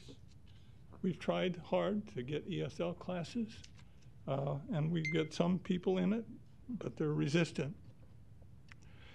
They cannot respond to English requests for additional information as they make applica- they don't understand the applications, and they can't make responses to requests for other information by email or uh, phone because they don't understand or they're not able to verbalize the response.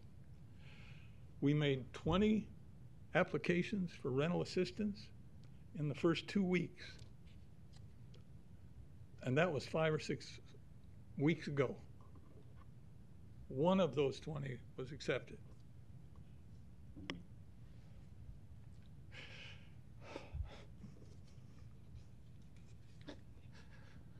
The other were rejected because of insufficient information. Uh, you had to have a signed lease.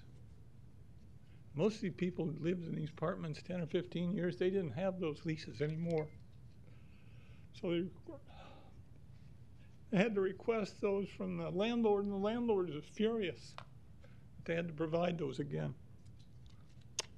Uh, we tried communicating with a human being.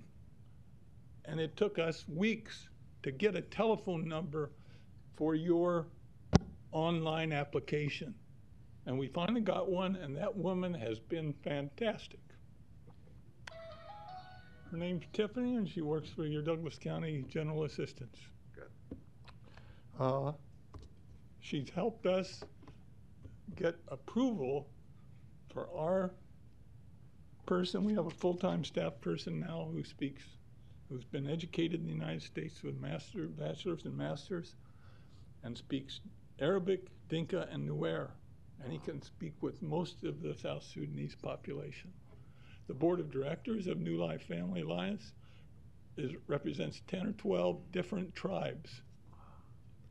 And so it's the only one that brings people together. and for, on the whole, they're educated people many educated here in the United States, as Gatoy Diang is.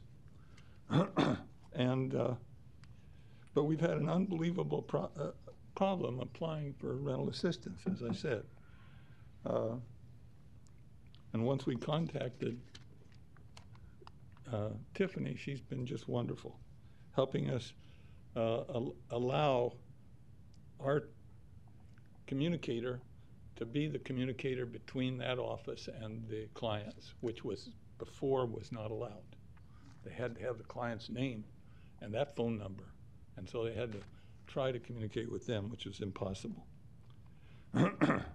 However, uh, as we started resubmitting applications through her, and she clarified things for us, she saw three, at least three of the first applications we got were for mortgages, not for rents.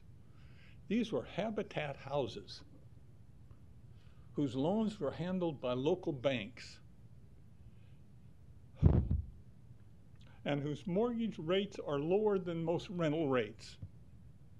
And she couldn't handle them. I'm sorry. Uh, I've talked with uh, several, uh, uh at least two of your county commissioners last week and complained that mortgages weren't uh, provided. And uh, one noted that uh, they were excluded because some mortgages have multiple funding sources, and that would make the situation management difficulty. Di management difficult. Uh, Others also noted various other services that uh, where we could find assistance for mortgage uh, for mortgages. Uh, I've called several of those and haven't had a response from a single one. Not from a single one. Uh, So I want to recommend to you that you change your policy and include mortgages in your rental assistance, the rental and mortgages. And if you need to put a, a, a limitation on it because of multiple funding sources, then put it on. Say we'll, we'll fund mortgages where there's one lender, one mortgage source. That's okay. You don't have to fund all mortgages. You can put a limitation on it. That's legal. I used to teach social policy incidentally. Uh, Finally, let me say that utility assistance has been even more difficult. We got names of six different agencies or more.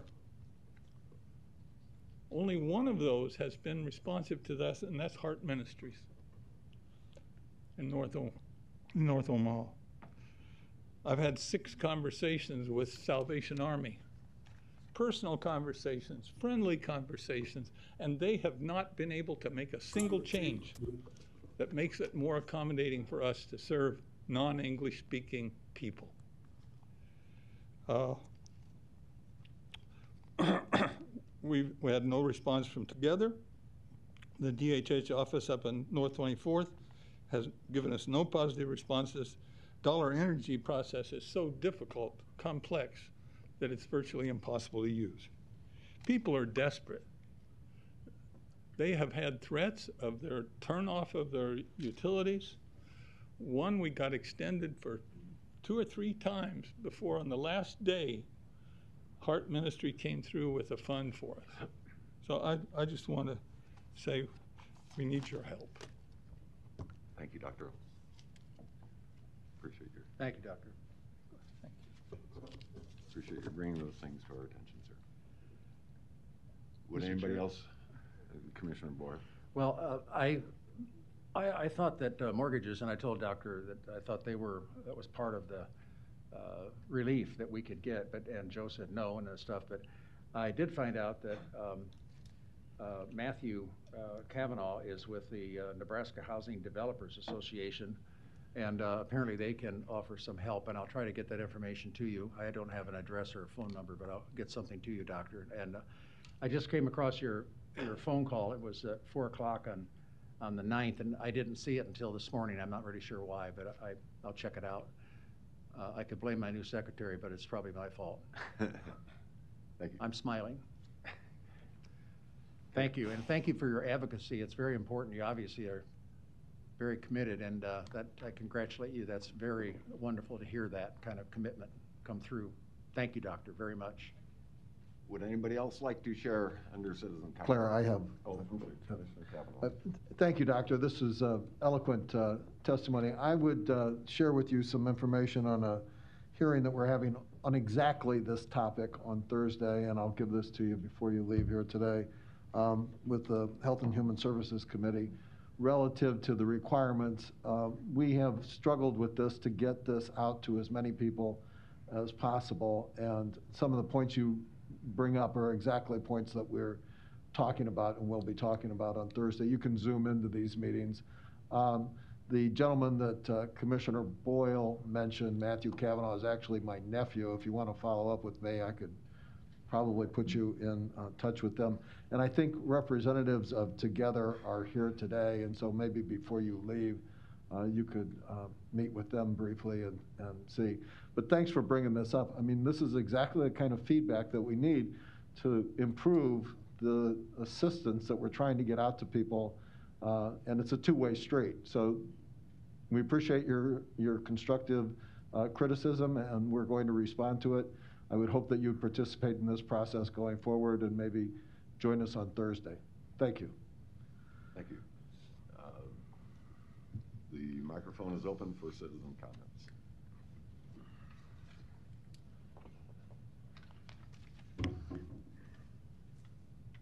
Larry Storer, 5015 Lafayette Avenue, Omaha, Nebraska, 68132. Good morning. Morning. Uh, Yes, thank you, Doctor. But I, I- I want to revise and extend my remarks from a couple of weeks ago first in regards to a man I met outside on the patio before a meeting. He was sitting around waiting for services from this building. I don't know all the facts, but he supposedly was a homeless vet. I spent the whole day with him. I took him around to different things. I told you about that. What I'm a little upset about is the follow through by all of the agencies in this county and city that I pay for with my billfold and how it let people down. He was waiting. He had already talked to somebody. I verified this in Human Relations, the city of Omaha, that was going to get him a ticket home. But over the course of four or five days, he's probably thrown out of two or three different homeless shelters. Slept overnight in the bushes not far down from the Salvation Army. After I'd spent a couple of days, maybe six, seven hours each day, still he didn't get any help. I even knocked on the Salvation Army door myself, two different places. I called 911, told them what I was doing. But they didn't want to talk when they did show up. So I don't know whether they were showing up because somebody wanted him arrested or what. But that night he had to sleep in the bushes just down the street because the police officers and the fire rescue units talked to him for a couple minutes and drove off. I suppose they didn't have room for all of his personal belongings that were also carted there by one of our temporary shelter community partners. Well, a couple days later, I find out from an employee of the Human Relations Department. I guess I should not use his name, but I do want to thank him. But I want to say also that of all of those you people and all of the city council people, all of the employees and all of the partners in Omaha, community partners, that spend my money dropped the ball here. It's tomorrow, maybe, that he's back on his way back here to go to Lincoln for something. What I'm pointing out here is he didn't get the help that he was supposed to get. I even called the VA. Nobody responded. When he finally got a hold of this city employee in the Human Relations Department, there was more than one actually, that person had to spend six hours of his day, and I'm not sure that that wasn't on a Sunday. And out of his own pocket, a bus ticket back home. Because Omaha didn't help him. Enough on that. But I do thank him and their department, but I wonder why it was so slow in coming about. Next, I want to say I don't think I ever got five minutes of green light. That presentations that went on here this morning seemed like they went on a long time. I don't think I talked that long, but sometimes I lose the green light. The next point is uh, I sent an email to both bodies yesterday. I want that included in my comments. But I also want these two items included, which are from the, uh, That's all I have. they're from the alternative press in Omaha. I get a lot of my information out of there because the Omaha World Herald doesn't cover it. And then the next, last item.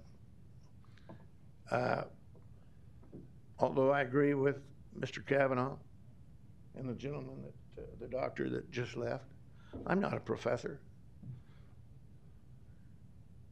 But should not that have been a presentation rather than a citizen comment?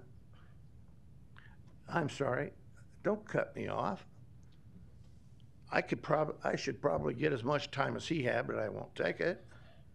But right there on your, your rules on the front page of this document that you hand out says you will, as a result, you will not respond. But you did. And he had, he went through the yellow light and for quite a long while on the red light. I won't do that. But it's not me that's out of order now. It was you. Thank you. I'm sorry I let Dr. Ells speak past five minutes. It seemed like he had a lot of important things to say, though. Anybody else wishing to address this group under citizen comments?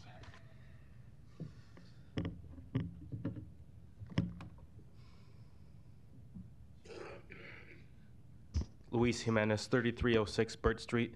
There's a few things that I want to talk about, um, so I'll do it as quickly as I can.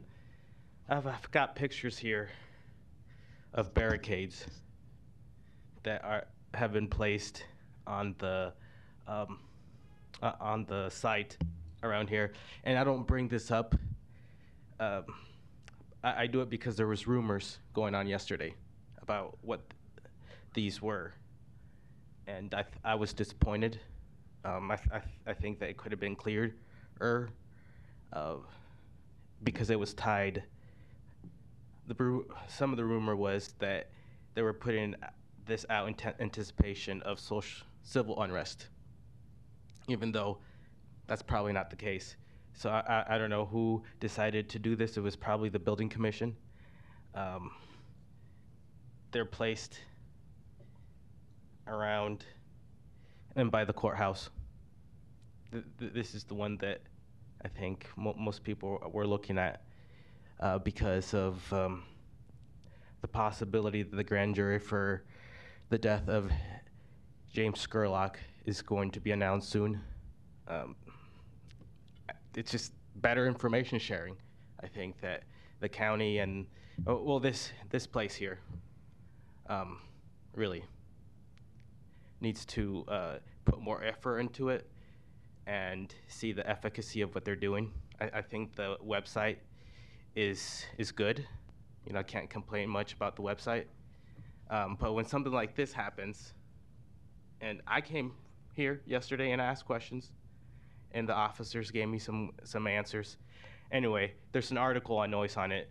Um, have a read. Um, also, while I have time, uh,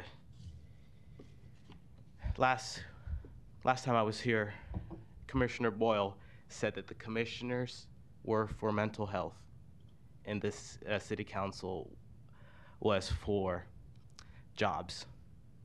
I don't know where he got that from. I, I hope that uh, you clarify that because I think it was off the cuff comment just to get something through. Um, but I don't think that's grounded in anything that's mandated um, specifically by law that the county has to focus on mental health and this while the city focuses on jobs. We- I can't say that either of those things are done well here. Um, so there's there's uh, uh, that too. So that that was very disappointing, Mr. Boyle. Um, also, uh, there's Mike, The- I- I'll give you opportunity. Okay, I'll, I'll let him finish, Luis finish. Oh, okay. Yeah, and I was gonna say if you need to come over here, eh, you, you can. Then later today at the city council, there's um, Why don't you put that going to be a, a presentation by Ben Gray, I believe, as as I've been told. Why don't you that- put it on the slide so we can see it? Oh, okay.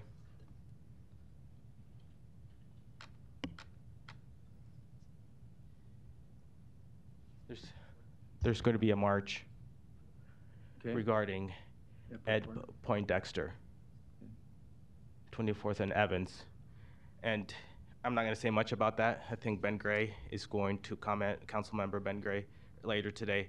But I, for me, it, it just seems uh, like something that happens, something old and something new. There was earlier in the summer there was social unrest, and, and then now there's this refocus um, on this incarcerated individual. However, I think Preston Love Jr. was talking um, to corrections, Nebraska, uh, not corrections, um, the Pardons Board back in January. So he's been doing some legwork, and I really appreciate what he does. Um, thank you for your time. Uh, Luis? Commissioner Boyle. Yeah, I do want to clarify what I meant. Uh, In, uh, the city and the county governments are quite different.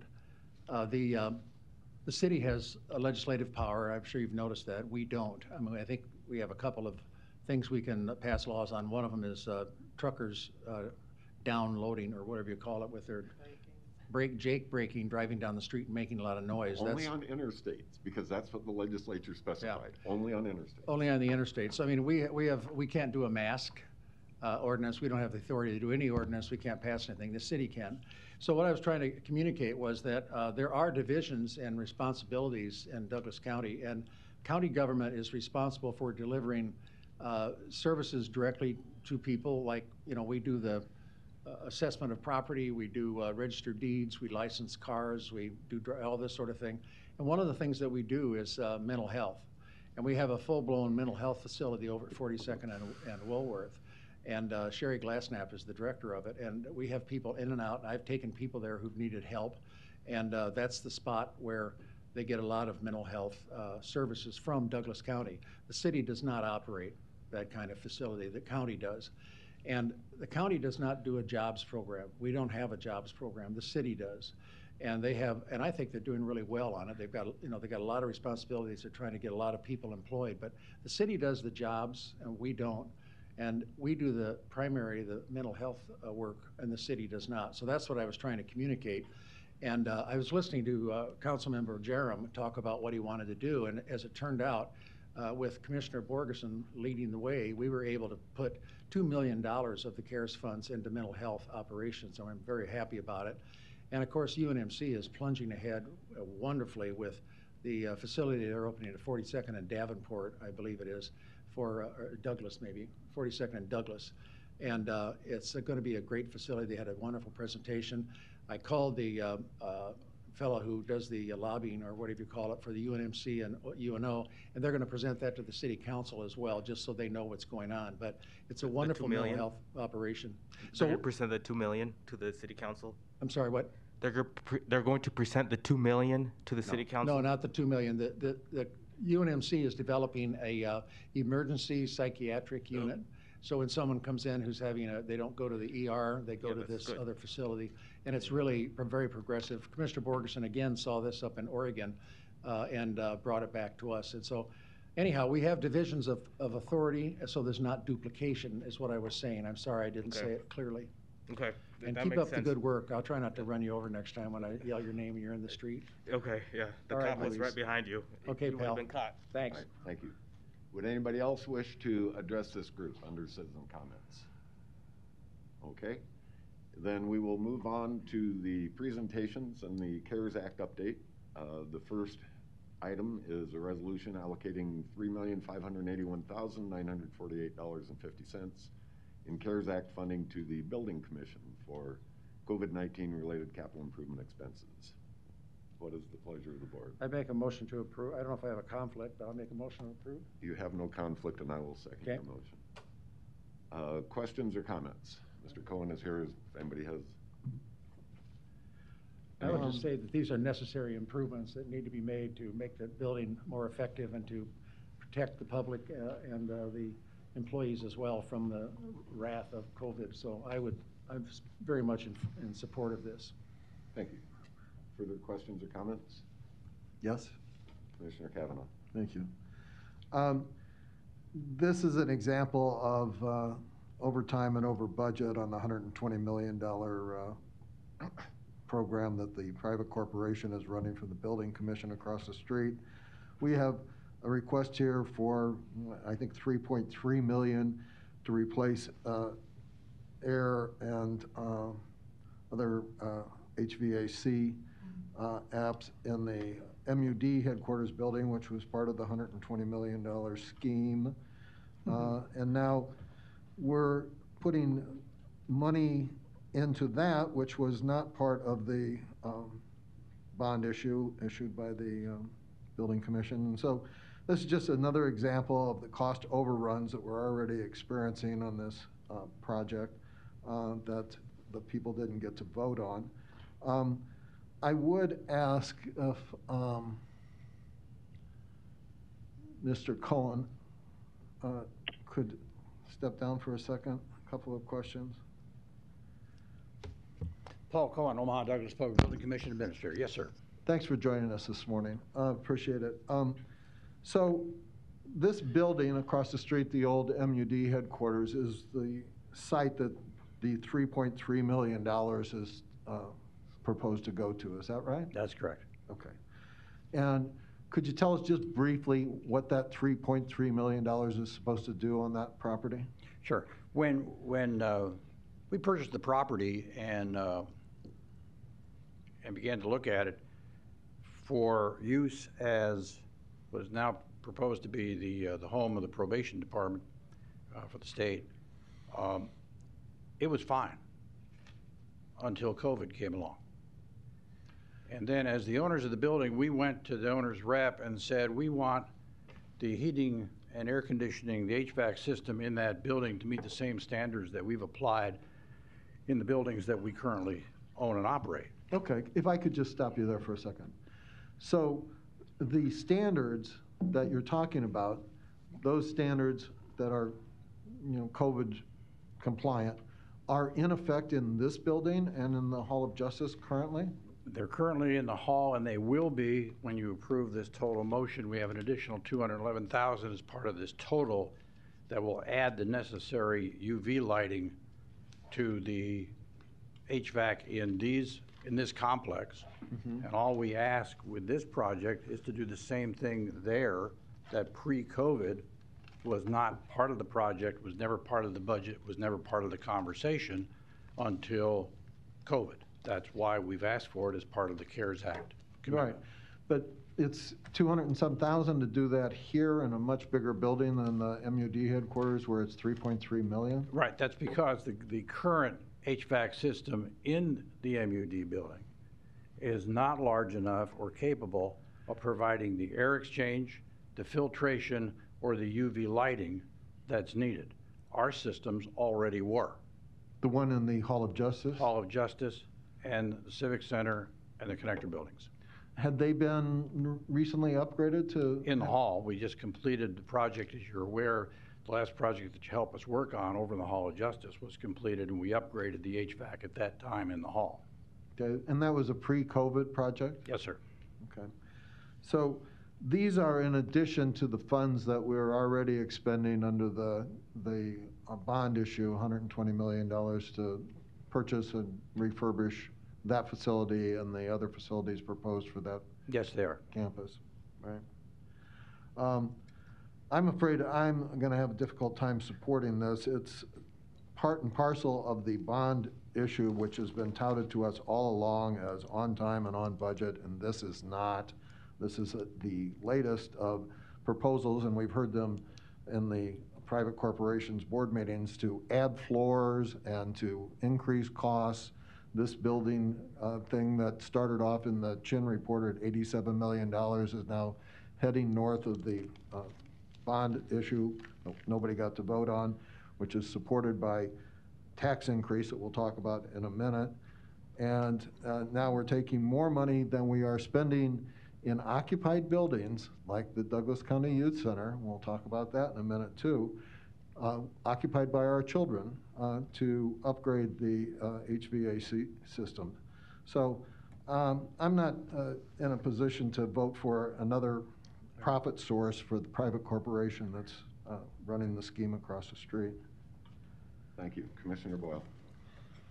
The, um, uh, I wanted to ask you, Paul, on some of the, the other buildings, I mean, this one, this building we're in was not, uh, uh, of course, I- you weren't here when it was built, but uh, this wasn't built with the vote of the people, was it? Built by No. the building commission? No, it's not. The, uh, Okay. the- So I, and I, I probably should talk to Leahy about this, but some of the buildings that we use, uh, they're not rentals, but that we own, uh, you know, the Fitzgerald home, for example. Uh, If we're making changes out there, um, then to be consistent, um, you know, people who are opposed to what your, what this subject is today, right now, they should also be opposed to improvements at the Fitzgerald home as well, because those were not built with a vote of the people either. And um, uh, it's, um, I'm not, I've had serious questions about this whole facility and all the rest of it, and I still do, to be honest with you. But, uh, you know, you, you got to face reality, and, and we need to take care of people and be sure that they're safe. So that's all I would say, but uh, this is, um, to be consistent, you need to vote, uh, those of who have object to this proposal need to vote no on all the improvements, including the Douglas County Health Center where our aged people are living. You should vote no. You should have voted no on that. And uh, because that wasn't built with a public, a vote of the people either.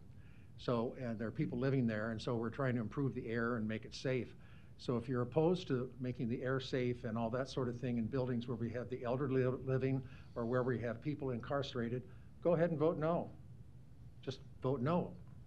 So uh, let's be consistent about it. I plan to vote yes. You know, I'm not, I'm not fully in favor of this, but I have to balance these things and make a, a fair decision on what ought to be done.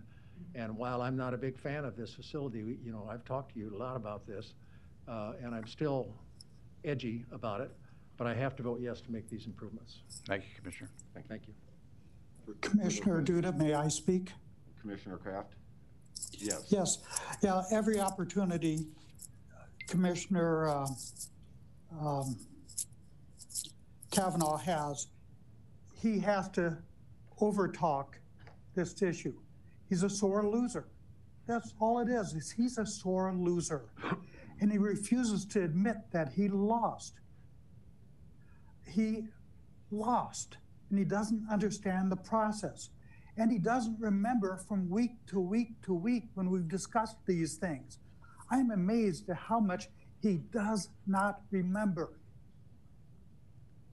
And I'm going to repeat myself because he does.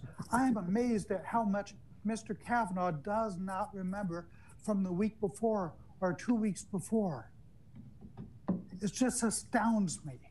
Thank you. Thank you, Commissioner Kraft. Further questions or comments? Commissioner Cavanaugh? Thank you. Well, I'm afraid that my friend uh, uh, Commissioner Boyle might be conflating some things because what was done at 156 in Maplewood, he calls it Fitzgerald Home, the West Campus, uh, was subject to a vote of the people, and he should remember that. Um, The, the other facilities that we have occupied by people under our care, like the Douglas County Health Center and the Douglas County Youth Center, are under our direct purview.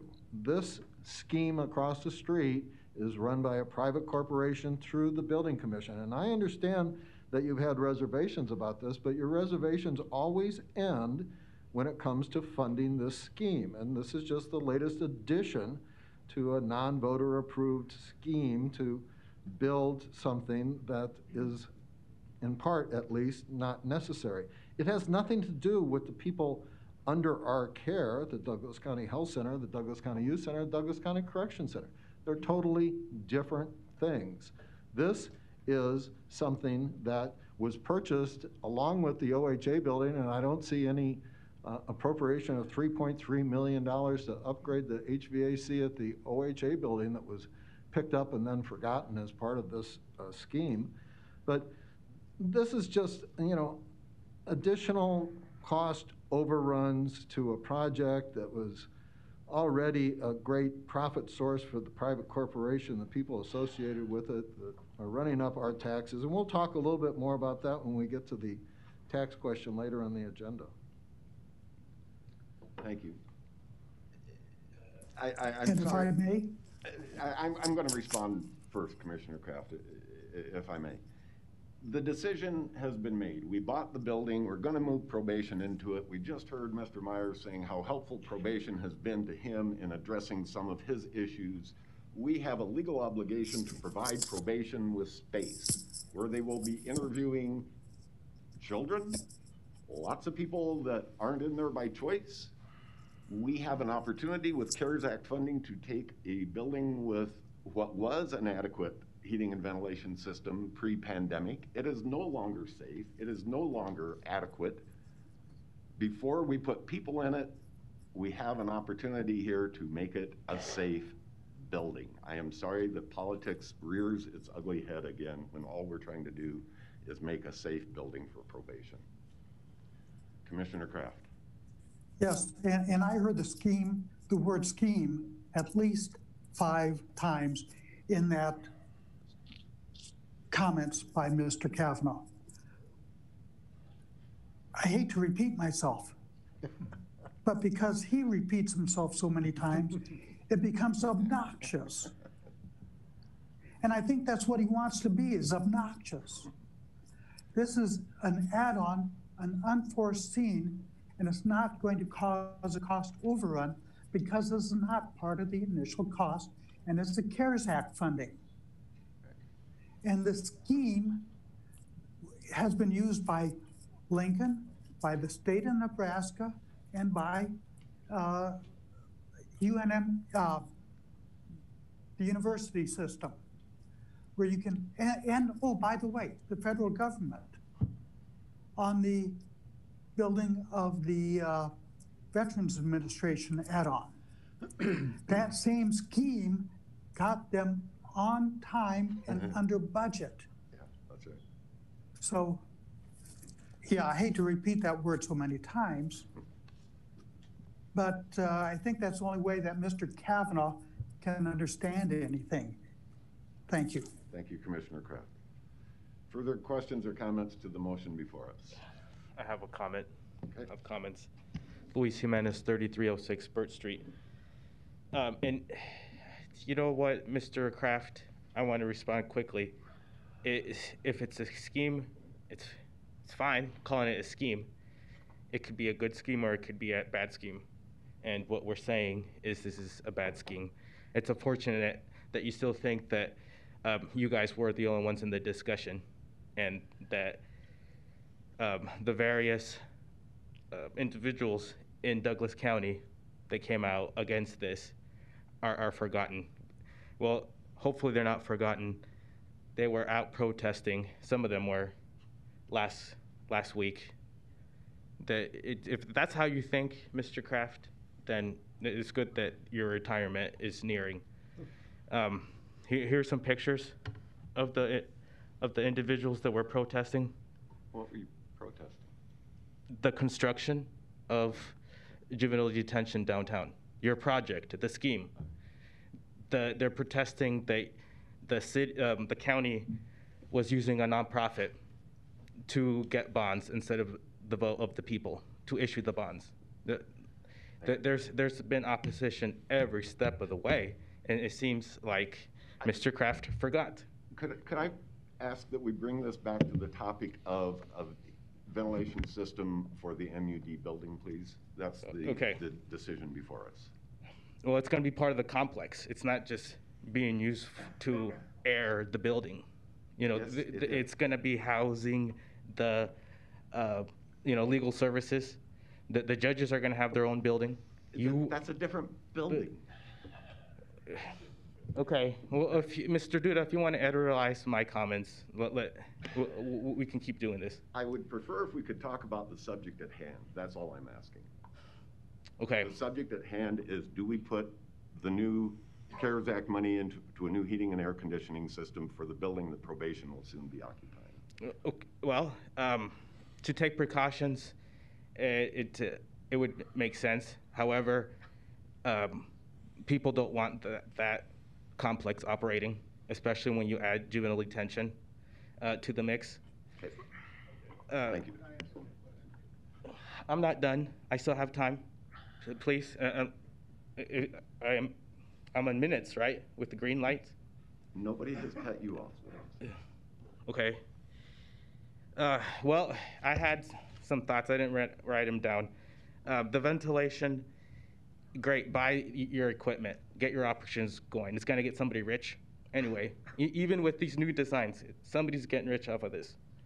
Um, and that, that's my comments. Thank you. Thank you. Commissioner Morgan. First of all, we're leasing space presently for probation. Am I correct? You are correct. Which I know the answer to it, but I want to make Yes. sure that you correct me. Yep. Secondly, and I know we have Paul here and Jerry Leahy, if they uh, want to correct me, I'm appreciative of that. The second part of this is, the plan is to move them into the MUD building. Because of the COVID virus, we are trying to make sure that we have a good air handling system in that building. And they brought to our attention that we should change that now before moving the probation office in there. And if I'm not correct, Jerry, I know you like to respect all commissioners. Don't worry about correcting me or Paul Cohen, who's with the building commission. That's what we're talking about, period. We're not talking about some scheme or underlying whatever. We're talking about one item, if I'm correct again.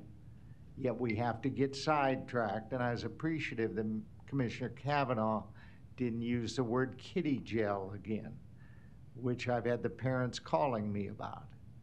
And we do have a lot of support to have it downtown, as does St. Paul, Minneapolis, and other cities that I vid- visited, Memphis, uh, and some others.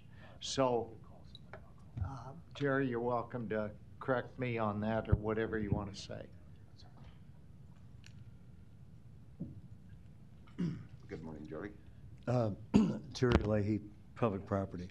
Um, Commissioner Morgan, you're right on about the uh, lease for the probation office. It's about $16,000 a month. It's been a plan all along to put them, uh, with the purchase of the uh, MUD property and the 1723 building, to put them into that building to eliminate that lease. I believe there are 80 officers that would be working in that building that are now in the Keyline building. And to have another point of view about this whole discussion, if I may, uh, I was involved, as you know, when we purchased the MUD property, along with the 1723 building. And uh, Jeff McGill and a couple others that toured the 1723, we had concern of the HVAC system, but we were pretty much uh, of the opinion that we could get another probably 15 years out of that existing system. So now what you have is a project with the courthouse tower, the annex, uh, with a brand-new design, modernized HVAC system. You have a detention center with a new design, modern system. And you have 1723 with a, uh, in, in comparison, absurd compared to the other two. So the opportunity was there. Uh, It is CARES Act money.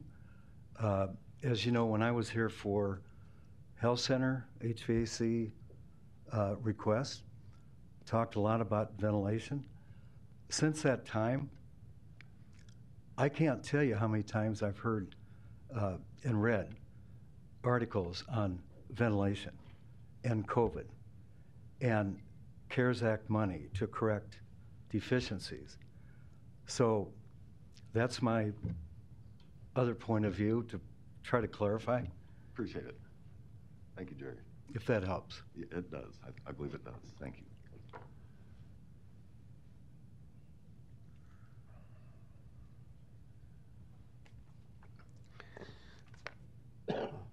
Larry Storer, 5015 Lafayette Avenue, Omaha, 68132. There was a phrase mentioned a little bit earlier about non-voter approved. This whole CARES thing is pointing out one thing on a national basis. There's an awful lot of people and government bodies that are rushing in there to get money from the federal government, which is out of my pocket, for this and for that. This particular item is something that should have been voted on by the people of the county. Never had an opportunity. Probably won't get to. I don't know, couldn't hear everything he just said, but I think he referred to the 1700s or what. If, if he was talking about the revolution, The, the, the- the topic is a new air system. excuse me, you didn't call him out of order, so don't call me out of order. I'm not calling you out of order. I'm asking you to stay on topic. My topic is on topic. When you go around the public, deny their votes, you are usurping the Constitution and your sworn duty. Thank you, sir. Thank you. Any other comments about a heating and air conditioning system for the 1723 building? Uh, Mr. Your Cohen. final comment, Commissioner Cavanaugh.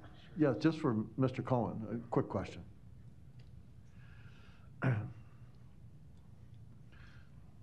Paul Cohen, I'm on Douglas Public Building Commission. Thanks again for being here. Yes, sir. So when this property was originally acquired and the plan was to utilize it for, now it's probation, but it was going to be utilized for some office. As a matter of fact, the purchase agreement says we got to use it for 50 years and its current form. Wasn't there a plan to refurbish the interior, including the HVAC, or was it just going to be the old building? I mean, No, the plan, the- there was a plan to, to refurbish the building to convert it to office space, and we're still doing that. But the HVAC, as Jerry pointed out, the HVAC was adequate. So except to change some of the ventilation uh, um, systems in the, in the ceiling and, and change some of the controls, there was very little that was planned to be done to the HVAC system. So if we look back at what was presented to you by the private corporation for a build-out on that particular property, we won't find a replacement of the HVAC? No, sir, that- you will not. Okay. Um, And how much was going to be dedicated of that original number of 120 million to ventilation in the MUD headquarters? Can't break that out for you, sir. I can tell you that the total valuation of the uh, um, refurbishing of that building was set at 3.8. That would include all the offices and, and uh, replacing some of the uh, uh, uh, parts of the, of the building that needed refurbishing to accommodate some of the offices and refurbish the office space. Okay, 3.8 million to refurbish the entire building, and now an additional 3.3, basically doubling the price of, of refurbishing that building. Rough math. I, I, I appreciate your candor. Thank you. Sir. Are you through? Commissioner Cavanaugh? Yes, thank you.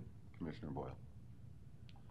I appreciate Commissioner Duda trying to bring it back to the subject, and that's, that's really what it is for me, because uh, what this comes down to is that we are voting today uh, whether to uh, provide a safe facility. This, this is going to be built. I mean, I've, I've brought up and uh, kind of rocked the boat on, we got to tear that building down is what we got to do, but all we have to do is save the shell. Uh, But I don't think it's that cool anyway. I think it ought to go, but we already had some roundabouts with that. But the issue before us today is we're, we are going to be remodeling that building for the use of young people coming in and probation coming out of the Keyline building into that facility. And the, the question is, should we provide clean air and safe air for the children and for the parents and for the attorneys, for the- whoever's there in probation and all the rest of it? Should we provide clean air or not? So if you're against clean air for kids, vote no. I mean, I'm not enthused about this project, but I'm voting yes because the majority has already spoken several times. And to clarify on this, a vote of the people is not required under state law. The very building we're in, I don't know how your father voted when he was on the county board. Maybe he voted no for this building, I'm not sure. But this building we're in was not voted, was, was not voted on by the people. And the Thomas Fitzgerald home, when it was built, my reference was, that was not voted on by the people. So, you know, to, to set this up as some kind of a scheme and something sneaky, it's been very public. I'm not a fan of the nonprofit group either. So, I mean, there are questions that I've had, but I have to come to grips with the majority, and I'm not in the majority on this. But I am on the clean air for the kids, so I'm gonna vote yes on this. That's the question. Thank you. I won't say this often, Commissioner Boyle, but that was well put. Thanks. I'm gonna have to get a copy of that. Further questions or comments? Then I would like to call for the vote on A1, please. Just want to note on the agenda request form, uh, there's two different amounts listed, so folks should disregard the amount for 412,000. It's the 3.518 million, so. 3.581. uh, 3.581, yes. All right.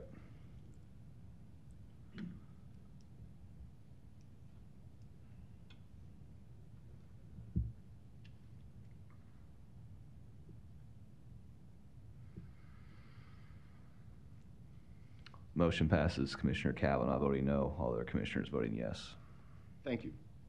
Item two, DC CARES Rental Assistance Program update and consideration to increase the maximum rental assistance award per household to, to seven thousand dollars. Melissa? Melissa Seawick, our General Assistance Director. Who thought thought she had a low-profile job until the last few months. Thanks.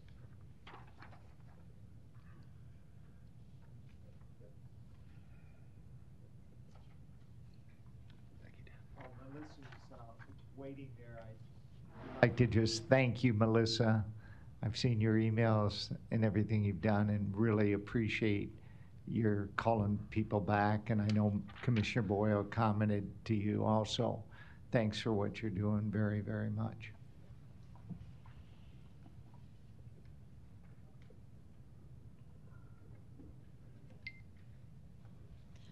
All right, Melissa Sewick, Director of General Assistance. So first, I'm just going to provide you all with an update as far as the program goes, and then I will um, talk about the possible increase to the maximum award.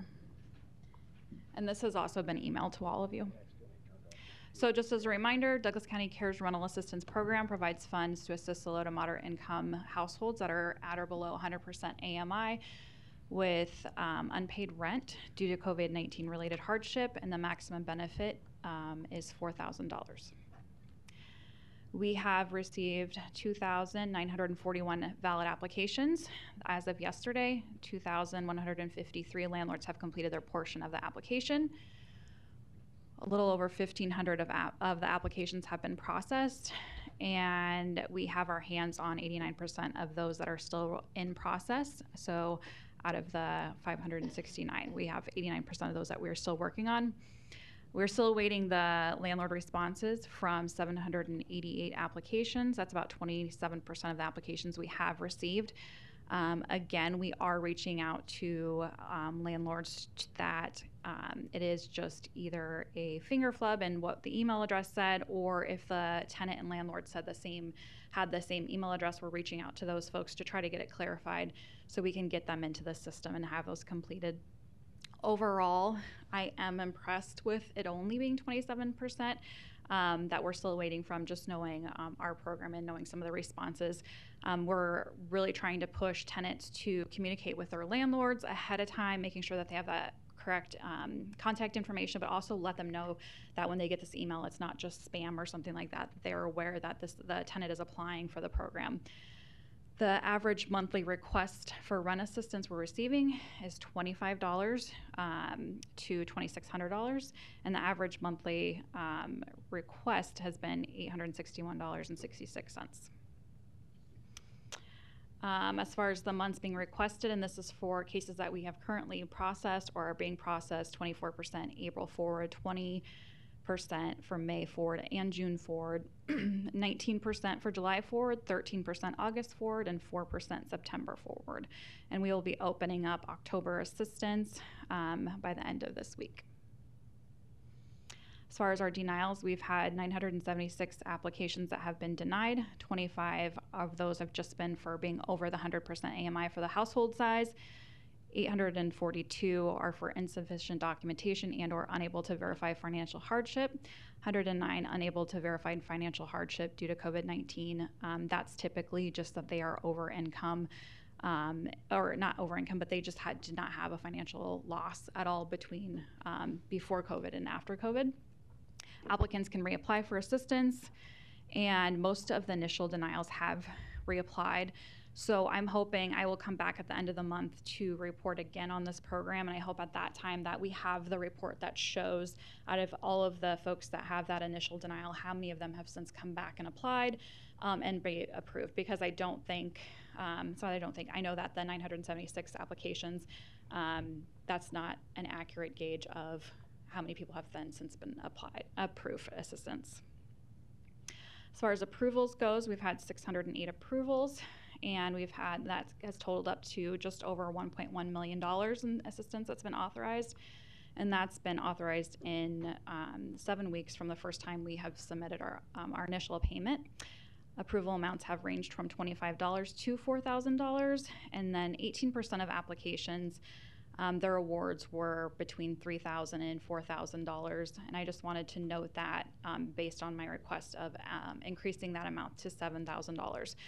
Um, we have probably right now about 4% of people that have already maxed out on the assistance of $4,000, and the remainder of those are probably about a payment away, depending on what their monthly payment is. The average assistance being approved is $1,833.83. Um, we continue to look at this program, their eligibility, the documentation required, and the, ga- the grant amounts that um, we are giving. And we're updating them um, as needed and as, as necessary based on what's coming in, what we're seeing. We're also looking at what other counties and cities are doing um, throughout this entire process, and we continue to do so. I again looked yesterday. We are one of um, we offer one of the, the highest financial grants out of any city in any county. I found one um, city that is doing a f- higher grant than we are based on our $4,000 um, eligibility. We have one of the highest, we go up to the highest AMI. Most of the cities and counties go from 50 to 80% max um, AMI. And as far as the documentation that is required, we align with most um, of the cities and counties. Um, the ones that we don't align with are because they're asking for more documentation. They're asking for six months of bank statements. They are asking for six months of pay stubs. Um, none of that, we, which we are doing. So, um, and there's been things that we have changed just along the process regarding our applications, how we ask questions. Um, then also, it used to be that when we initially started the program, that you had to provide income verification for before COVID, considered uh, March 17th, and then after COVID we're seeing that um, obviously some people are having difficulty getting that um, income requirement before March, that um, whether that's a pay stub or bank statements, but we're also seeing that there's there's people that have been unemployed but have since got employment post March but then have now been affected by COVID. So we have kind of changed those requirements that they just have to provide one month's proof of financial impact um, before COVID and after, and there's really no dates attributed to that other than being between March and the current date. Um, and then we're also looking at households that um, their children are participating in e learning because we're seeing a lot of individuals that have either had to quit their job or they are working one or two days um, less a week due to the fact that they have to be home with their children. And so we are um, looking at that as well, where they're just attesting that they have a child that's participating in e learning um, and providing us with their financials. And that is also um, eligibility that we are looking at. And then again, for information on our website, it's www.douglascounty-ne.gov. And then our help desk line is 402-444-7230. That's my phone number, 7232. Um, and so I just wanted to point out, um, I you know sent it in an email to you all, but you know Tiffany and myself are pretty much the main ones that are overseeing this program um, internally in our department, and we are easily taking 100 calls um, a day just ourselves. Um, not that not coming through the help desk where we are talking to landlords, we are talking to tenants. And overall, the message we're hearing is very positive. Um, the folks that have been denied for incomplete uh, um, information or insufficient information, we're able to provide them exactly what they need, and they have then turned around and submitted it, and they are getting approved. We have some cases now that we're caught up that are getting approved um, within a day or two of them submitting their applications.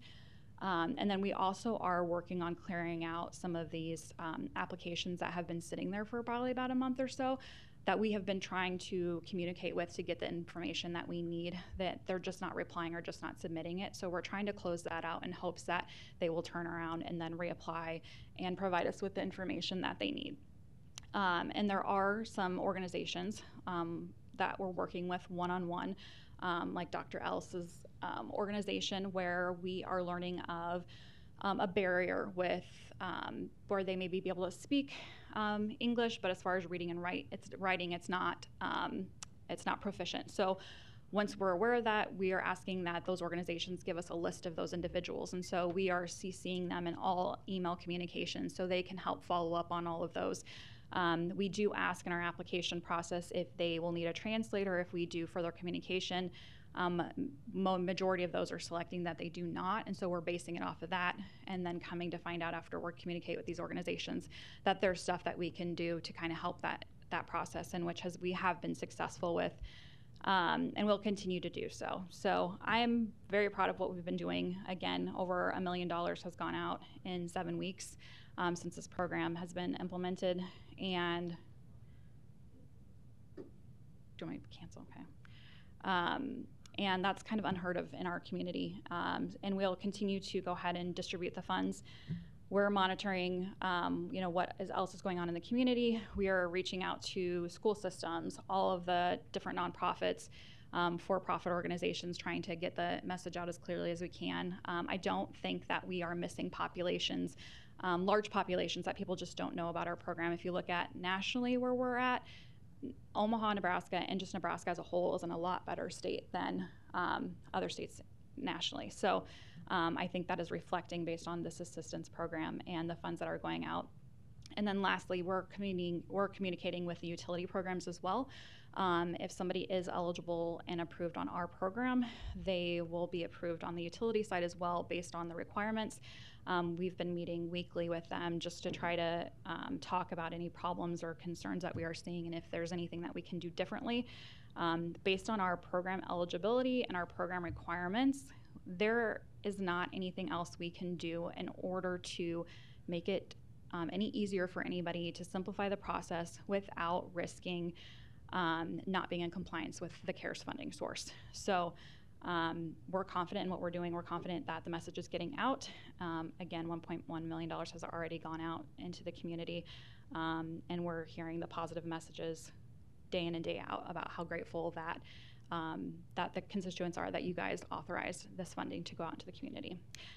That said, um, we are seeing that some people are hitting that cap already of that $4,000 um, where they just are still not employed or they had employment and then now with the schools back in session that they still have um, some, some needs for that rental assistance. So we are asking that um, the maximum increase, the maximum amount of rent being authorized is $7,000 per household we're looking at an average amount of $1,000 being allocated each month to a household, and we are looking from April to October, so that $7,000 amount.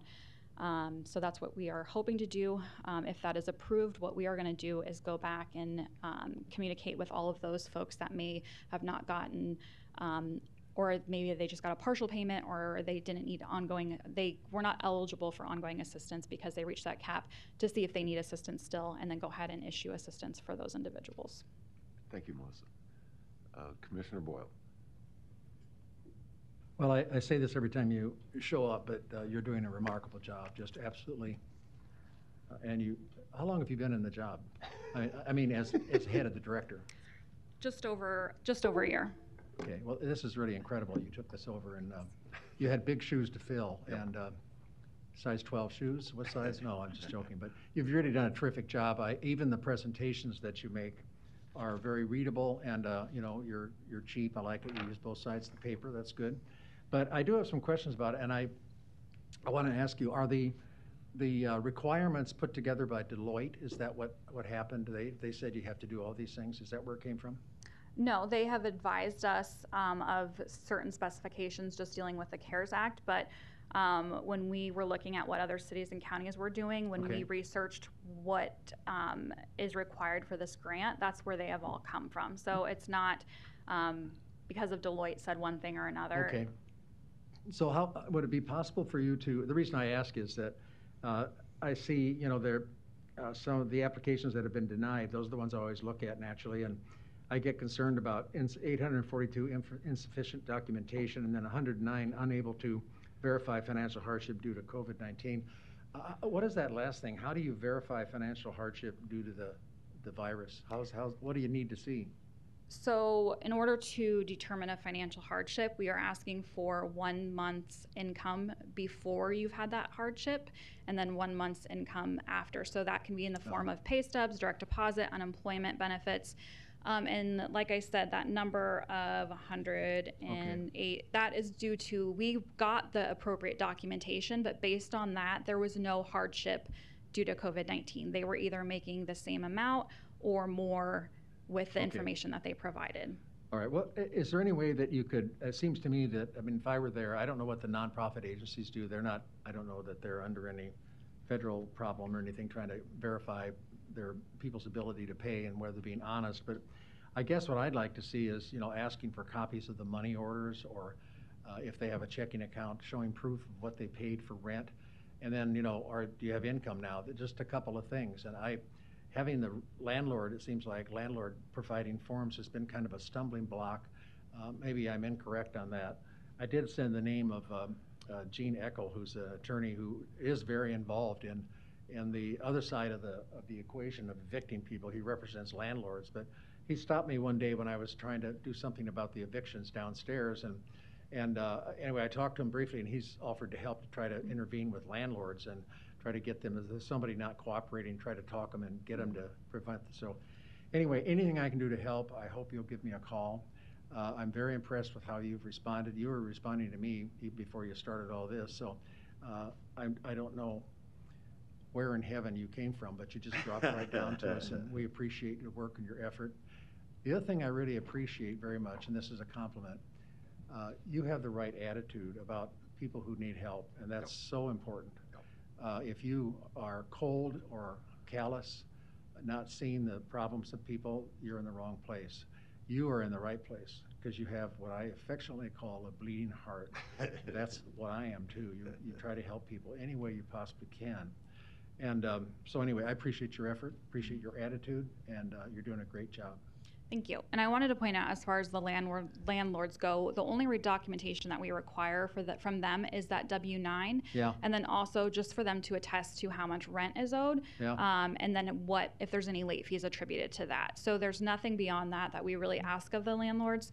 Um, so majority of it does fall on the tenant, but again, the only thing that we are asking from the tenant is we ask for a copy of their ID, their identification, and then proof of income. So like you said, that can be in the form of bank statements. It can be like via direct deposits, pay stubs, a letter from their um, employer. It's it, it we accept a wide range of documentation, and then and that helps us determine obviously what that household's AMI is, and if they have been negatively impacted by COVID. Uh, Are you familiar, have you, did I send you the information on Lending Link? Uh, No. Okay, well, I need to do that because I, I discovered, I called uh, uh, Roger Garcia and said I needed his help, and he got a coffee, and I said, we, I know he used to be on the, uh, uh, the group uh, helping immigrants uh, come into Immigrant Center. And so he went, he came back, he called me, and I had lunch, we had lunch, the three of us, and there's a fellow named Daniel Padilla, and uh, he worked for 23 years at the First National Bank. He was recruited to run this uh, lending agency that frankly competes with the people who charge 400%. And he charges 5%. And they've had something like 1,200 loans made in six weeks. They also have an angel grant system. If someone can't make a, a payment, they can also do grants. I'll get the information to you because there are, there's help out there. And um, it's really remarkable. It's being funded by some of the usual suspects that are so generous to our community. So it's really a neat operation. I'll get it to you. Okay, great. So uh, people that don't qualify can possibly go there. Okay, great. Thank you. Thank you. Uh, I, I just have to add, I've had several constituents, people, whatever, just write directly to me looking for help, and boy, all I do is forward the emails to Melissa, and she gets them taken care of immediately. She has been wonderful to work with from, Really? from our perspective. Yep. Commissioner Morgan. So you mentioned uh, the outstanding job that's going on here compared to other cities. You mentioned there was one city. What was the city that you said uh, was doing so well or? I don't recall because I've looked at so many, um, but there there was only one that I found that is um, authorizing a higher amount of assistance than Oh, we do. okay. And but they're monthly. They have a monthly cap, so Okay. um, it was a four month max. So um, technically, we might still be better than them, um, depending on how you look at it. But we, I definitely think I nationally our general assistance program um, what the county offers it far exceeds what other counties general assistance programs are doing. Um, and i think that also reflects with this general this rental assistance program is what we're seeing uh, different counties and different cities doing. Um, it's a lot simpler and it's a lot more um, assistance that's being provided. And so you're comparing it with all cities, counties? Right. Whether it's San Diego County or Right. whatever? yeah we're not looking at sizes we're just strictly Doing looking it. at the cities and the counties absolutely And the real credit to you is what you said earlier about taking these calls, that you yourself have taken, you know, what, whatever, if it's up to a hundred calls a day, uh, you know, and the difference. And that's really made the difference. And I don't think you have a bleeding heart, but I think you have a tremendous passion about what you're doing. And that's what life is really about That's a in the heart. job you do. I know that uh, Commissioner Boyle does have the passion about trying to always do the right thing. I don't think he has a bleeding heart either, but he, uh, he's okay. Thanks. Thank you, PJ. Commissioner Rodgers. Uh, Melissa, hey, so um, I want to be able to I can correlate uh, slide four, right? So does slide four mean that of the 1.1 million that has been approved for rental assistance, that 24% of it was given out in April, 20 was given out in May? Am I reading that right? No, that, Okay. so for the month's assistance requested, that is being, that's what's requested from the applicant on their application. So, um, twenty-four percent of the applications we had processed were requesting April forward. Okay. Um, and then look twenty percent May forward. That said, when we are finally communicating with the landlords and the tenants, that it does not always match up. We're finding that a lot of people are just clicking all of the boxes that are available, and then when we are processing, they only need one or two months of assistance. Um, so that is, and so uh, that's another thing that we're hoping to get documentation and get reports on to show what specific months we are paying for folks. We're seeing a lot of stuff now come in specifically for September and newer applications where they had not applied for previous assistance. Um, and I'm attributing that to the end in that unemployment, additional unemployment, um, where people were able to pay for their rent and then now they're not able to do so. Okay. All right, thank you. All right. Uh, It would be, oh, Commissioner Borgeson. Thank you, Mr. Chair. And I just wanted to extend my thank yous to Melissa as well. I mean, just, just the comment you made at the end, uh, in seven weeks, we, one million dollars has gone out to assistance to our Douglas County residents. And that's big. Um, I, I don't believe the program struggled to get started because it was off and running with a few weeks when we approved the use of this program. Um, it, it, uh, nothing's ever perfect. And I think you've proven that as you've gone along, we've tried to fix what we don't think is working or that needs to be changed. Um, and that I think is, again, kudos to you as the leader and kudos to the staff who are working on these applications. Um, it can't, again, all fall on those who are processing the applications. There has to be some ownership of it of those who are applying as well. And I think you've proven that you have taken this and told the staff that we're gonna work these and we're gonna work them so we don't have to deny them. Unfortunately, there are times when we have to, but again, seven weeks and one million dollars gone out in assistance is pretty impressive. And again, thank you for your leadership on this. Does anybody want to make a motion? Commissioner Cavanaugh. Thanks for this. Um, And this is great, uh, going from uh, 4,000 to 7,000. I think it's something that we talked about, uh, you know, earlier when we came to the realization that the program was getting set up four months into the pandemic, and it had a four-month limitation on it. Uh, It was apparent at that point that we would have to continue it, and we have to the end of the year. It's also uh, apparent that the original 4,000 was going to be inadequate, and so continuing that in a similar fashion makes all kinds of sense, and I, I support that.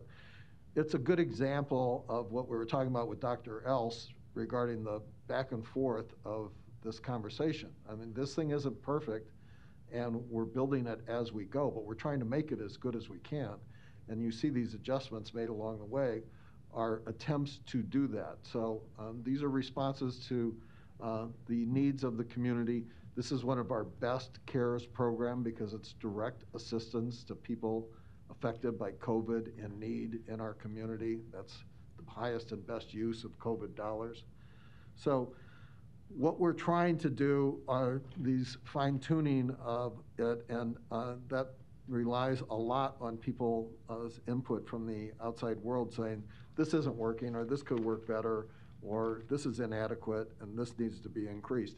This is a response to that.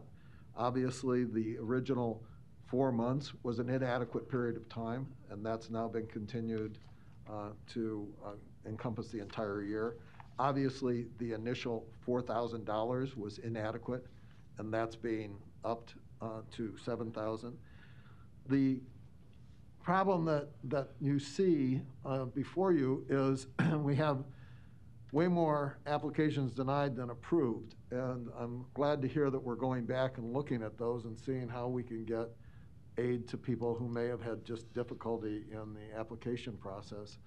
We also have 1.1 million to date uh, expended out of 10 million. And uh, that's going to be interesting going forward, how we get that amount of a balance of about $9 million uh, out to people by the end of the year because this has to be expended as CARES requires by the end of the year. So I understand uh, what you're doing here today, and I applaud the um, work that general assistants have been doing and the flexibility that you've shown meeting the needs of the applicants, which is the, the highest goal of the uh, of the project, so that we can get through this pandemic uh, as well as possible using the resources that we have. Um, the numbers uh, that we see, I, I think, if you'll correct me if I'm wrong, have been going up every month in terms of applications. Is that right? As far as the applications received or? Yes. Absolutely. I mean, absolutely. People are applying every day. So our numbers are going to increase. And we're having, like I said, as far as our September data, we're seeing a lot of unduplicated um, apps for September that they are new applicants that have not applied previously that are now applying for September for the first time. That's excellent. Thank you. Thanks for the good work you're doing. I know that it's a struggle, and if you need more resources, uh, you know, handling 100 calls a day has got to be taxing. Uh, you know, please let us know. I mean, the General Assistance Department didn't start this year set up to deal with this kind of a load, and so obviously, if you need some more help, let us know. I think um, you know we're we're handling it fine. I like that we're able to talk to landlords and talk to tenants um, about their specific issues, questions, concerns. Um, again, we just want to get the continue to get the message out and have it. Um, we want. I know it's not always going to be a positive spin. Um, some of the stuff that we've been hearing um, is not always positive, but I think it is an amazing program that's being offered that you know you guys have um, approved for the county. I think what we have done is amazing. Um, we continue to adapt our program as we're seeing. Um, as, as we see fit, and also like your your comment regarding the the four months and then the four thousand dollars, when we initially started this program, we were hearing from you know different organizations that there was a $35 million rental need, and we were seeing very high figures.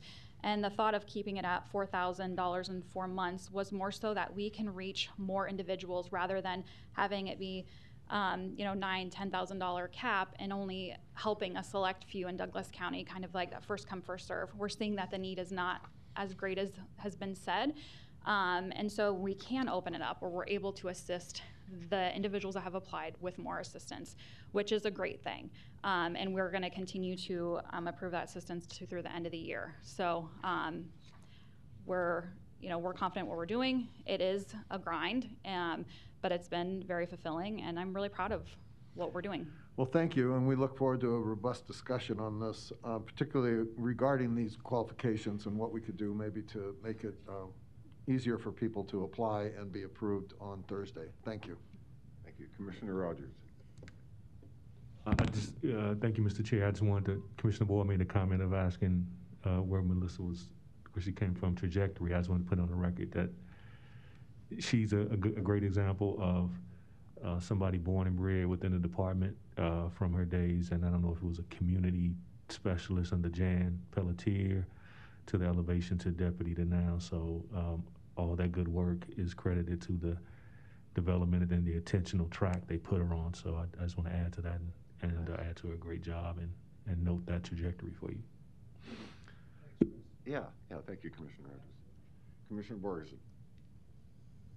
Thank you, Mr. Chair. Uh, Melissa, when you were talking about the landlords, are we talking a big number or are we talking a handful, a dozen? Um, As far as like that you're still trying to get information from or So, that aren't being it- cooperative? So as far as the ones that are not cooperating with us, tho- those are very, very few. Um, some of it is just kind of a misunderstanding of where the funding is coming from. Um, I've had a couple of those conversations just this week where they they think it's something else. Um, so it's just clarifying that. Um, there's some landlords that don't want to accept the assistance because they want to be able to evict that tenant. Um, but for the most part, they're willing to work with us. I think the biggest thing is just being communicated or, oh yeah, I did see that email, but I didn't know what it was about, um, or I just thought it was spam. And so that's why we continue to say, like, tell the tenants, communicate with them, let them know. Um, and we're having a lot of tenants that say, my landlord said they haven't got anything yet. So then we're reaching out to the landlords and we're CCing the tenant.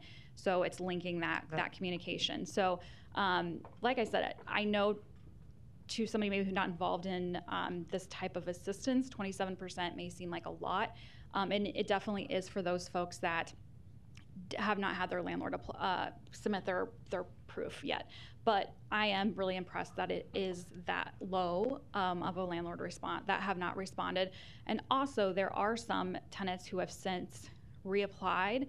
And so they have those two applications sitting in our thing. One has marked as submitted, and that means the landlord has not completed their portion, but then that second application, the landlord has submitted it. We go through as best as we can to mark duplicates, um, but when we're looking at almost 3,000 applications, it gets kind of difficult to do that, especially um, if we don't have key things to look at as far as email um, to cross-reference. But um, again, we continue to get it out there. I don't feel at all that there's just landlords that aren't aware of the program.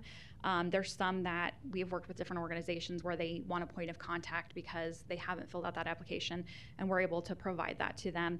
Um, we're reaching out to them um, to find out if there's a reason, because sometimes it's just a miscommunication. Sometimes when we call the landlord, we find out a lot more um, of the story of why they're not filling it out, and they're not going to.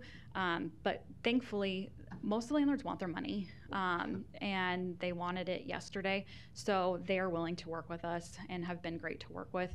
Um, most of the tenants, the same thing. They're just super grateful for the program. A lot of them when we get a lot of the back to back to back calls, people are just stressed out. They're concerned. They're scared because they don't want to be evicted.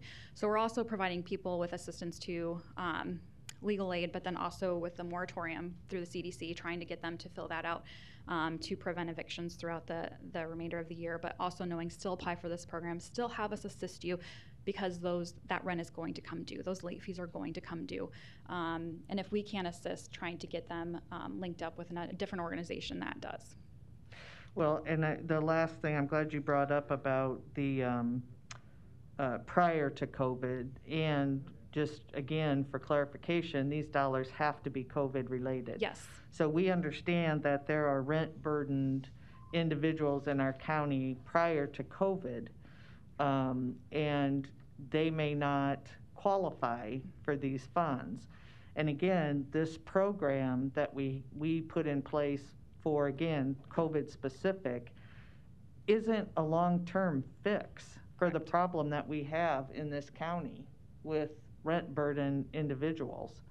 So I think that when we first started talking about it, I think it was thrown out there that this was the end-all be-all. It was going to take care of everybody. It was going to be, you know, this big, like $38 million um, expenditure for individuals in our county, and that just isn't the case. So again, we have specific requirements we have to follow.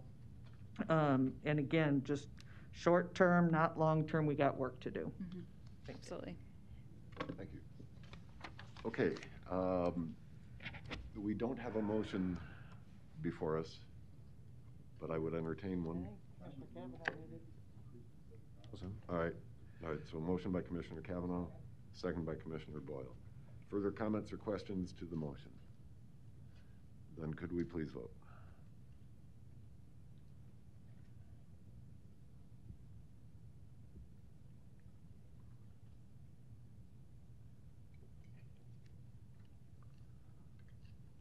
Motion passes six to zero. Thank you.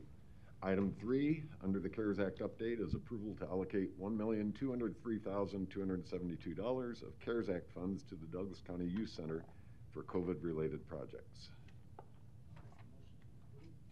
Okay, I will second that. Questions or comments to the motion? Commissioner Cavanaugh. Uh, To relate back to what we talked about for the MUD building where you approved $3.3 million to redo their HVAC so the kids could have clean air, um, there's no money for HVAC upgrade at the Douglas County Youth Center, which currently has and will, for the foreseeable future, somewhere between 70 and 80 kids staying there every single night. Now, the MUD building is not going to have any kids staying there overnight, and it's not even going to come online probably for a year or two. But tonight, and every night during this pandemic, kids are going to sleep at the Douglas County Youth Center where you're not spending anything on an HVAC upgrade. Just a point to show you the disparity in interest between the uh, scheme across the street and the kids that we actually have under our care at 42nd and Walworth Street. I support this, and I'm just pointing out that there's a vast disparity in what we're doing. Thank you. Further comments or questions?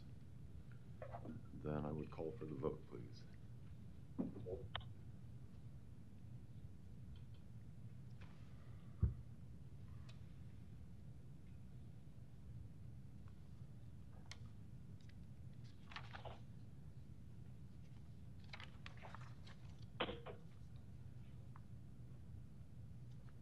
Uh, Commissioner Morgan, how do you vote? Okay, motion passes six to zero. Thank you. Next on the agenda are two items that we're not ready for today, I believe. Items B and C, the report from uh, the purchase, purchasing agent on emergency purchases that haven't occurred yet. And so those two items will come back to our agenda next week. Which brings us down to public hearings, and, and I've been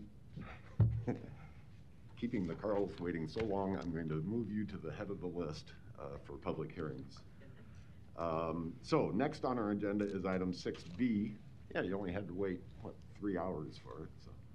To amend the seasonal limitation on operations in condition number two of the special use permit, this is allowing the drive-in movie theater on North 300th Street to have a longer season. What, do we- what, how are things going? What are you, what are you looking for here? Well, Are we opening the public hearing then? I'm sorry, this Oh, is a public hearing. Yeah, Thank we you. appreciate the time. You guys have a very full dance card. Thank you for saving one of them for us. Um, My name is Jeff Carls with the Quasar Drive-In of Fremont, Nebraska, 1898 Phelps Avenue. Uh, Jenny and I are here today. We had uh, a pretty extensive list of conditional uses on our conditional use permit for the drive-in.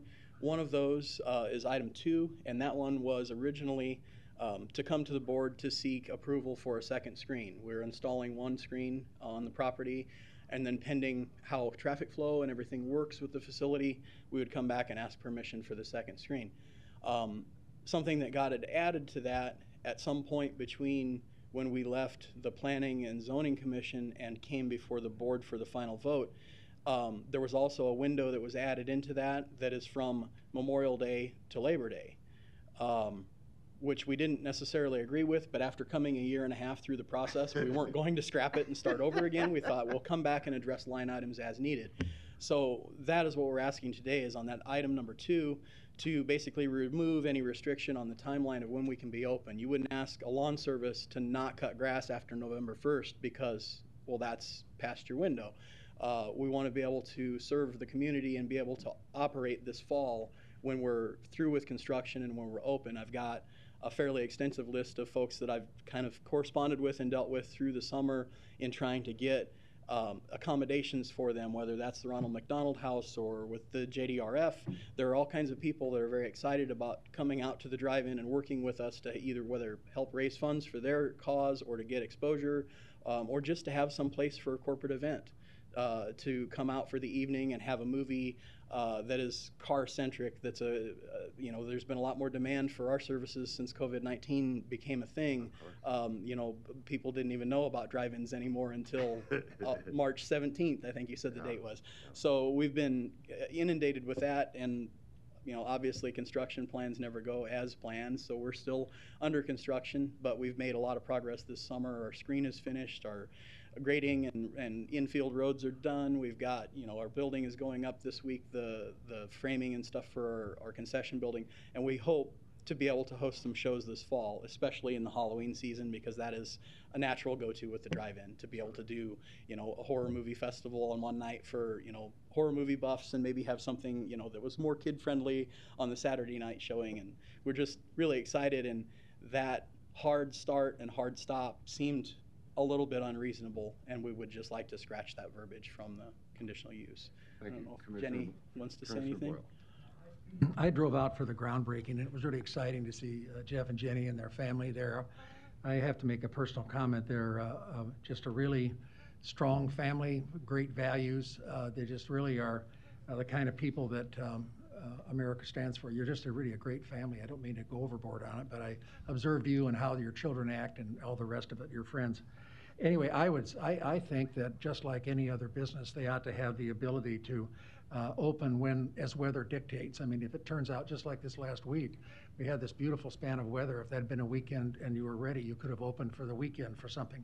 Correct. I think that we need to uh, lift this restriction and let them operate as they see fit. I, I know, I'm very, I trust them tremendously. They are very good neighbors. Uh, You know, they have, uh, uh, there are farms in the area.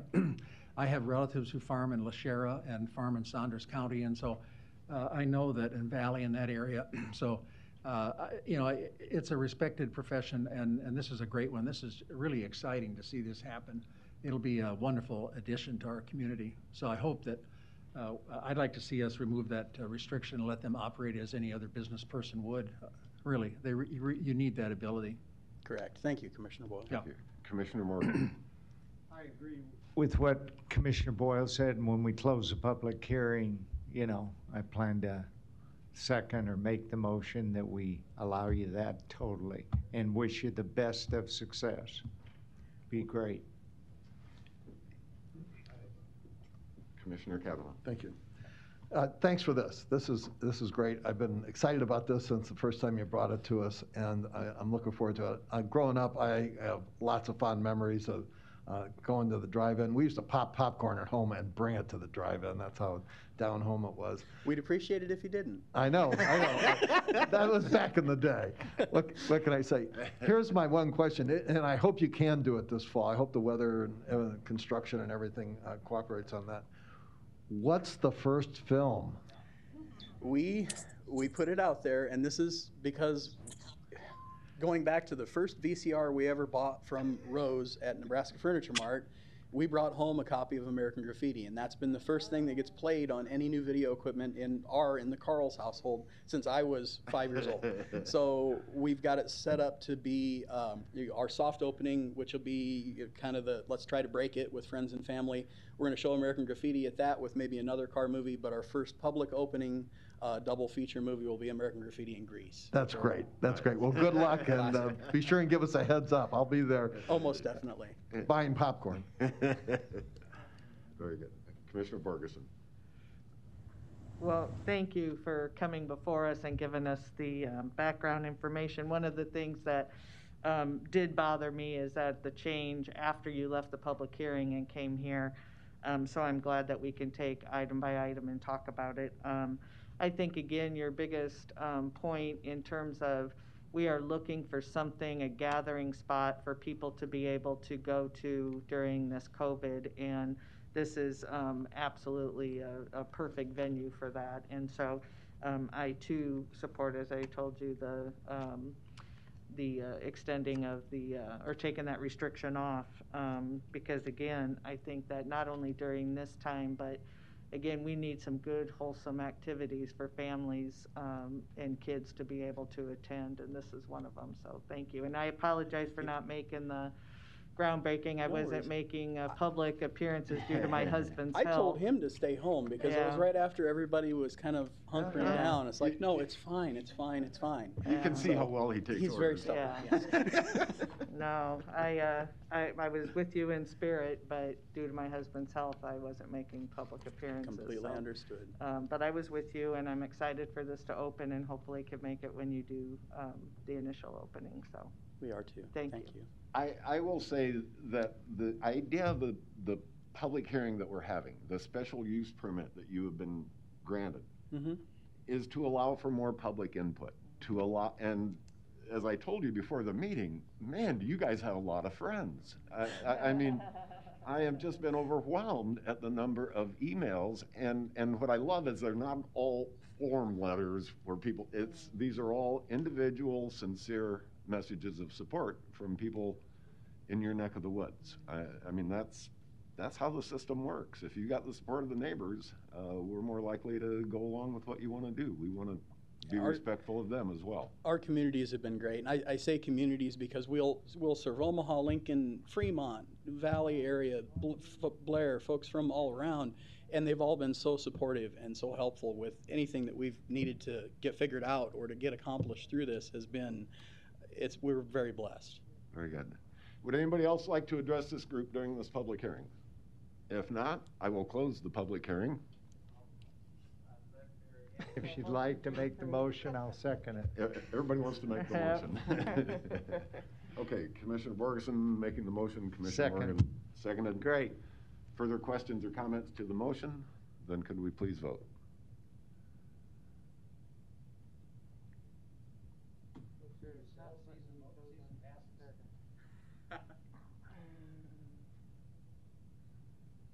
Motion passes six to zero. Very good. Good luck. Thank you, guys. Thank you all very much. We'll see you next year about the second screen. All right. Okay, I will come back now to item A on the public hearings, and that is the hearing to set the final tax rate for 2021. Joe? Go, all right, we have a motion to approve. Well, we're, if the public hearing's open. Oh, we yeah, can- yeah, yeah, public hearing, thank you, thank you. Okay.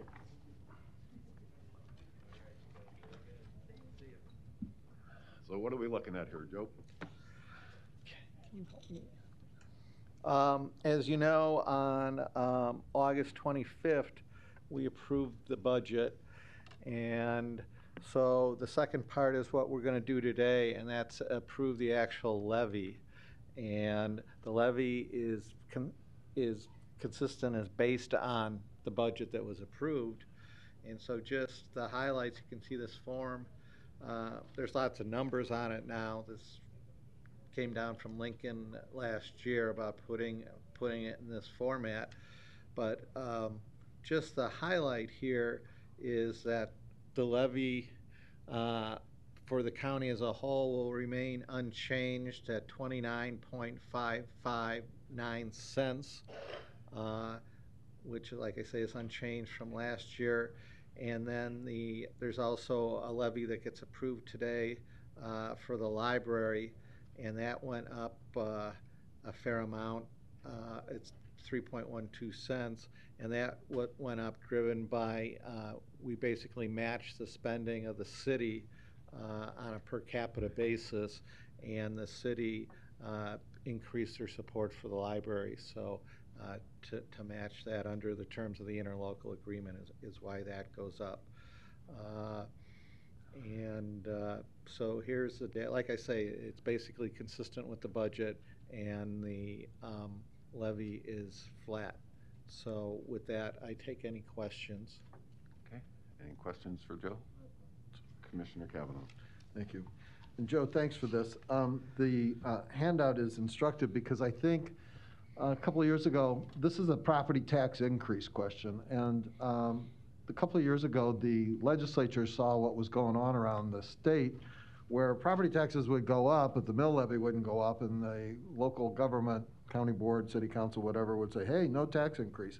So they passed a law that said, oh, if you're going to do that, you must tell people there's a property tax increase. That's what this is. So if you go onto this page, and this is because of state statute that wasn't done before, you'll see 2019 2020 property tax request 140 million dollars for Douglas County. And you will see down the page 2020 2021 proposed property tax request 150 million 468,298 dollars, an increase of ten million three hundred and sixty dollars, three hundred and sixty thousand five hundred and seventy-three dollars. That's a property tax bill that's increased over ten million dollars in a year. They're telling you that. We're telling you that because we are compelled by state statute, although it's not quite clear from this page, to tell you that. Here's taxation in a nutshell. Base what your property worth times rate, what's the mill levy, equals the tax. If either of those things go up, your tax goes up.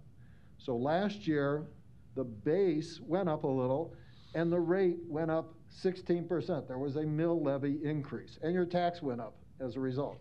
This year, your base has gone up again. I think it's about 7%. Mill levy stays the same, but the tax goes up. Base times rate equals tax. So you're looking at a $10 million plus property tax increase on every property taxpayer in Douglas County. And um, this is something that I've talked about repeatedly. It wasn't going to probably get much discussion this morning, but I'm not willing to pay that because it's unnecessary. We raised property tax rates, the mill levy last year, to pay again for an unnecessary scheme across the street. And this is part and parcel of that. Had we not done that scheme across the street, your property tax amount would not necessarily have gone up. This is paying off a non-voter approved bond issue to build what is described as a kitty jail by PJ Morgan. I don't think, Mr. Morgan, I've actually used kitty jail as a phrase, but um, that's unnecessary, that we don't need. We have Douglas County Youth Center, perfectly adequate. We could refurbish it for a lot less. You're doing a property tax increase vote here this morning. So I'm going to vote against that. I shouldn't go there, but I have to come back to the building commission meeting where we were voting on going forward with the courthouse annex and, and the juvenile detention center. And Commissioner Cavanaugh came to the meeting and urged us to vote to move forward with the courthouse annex.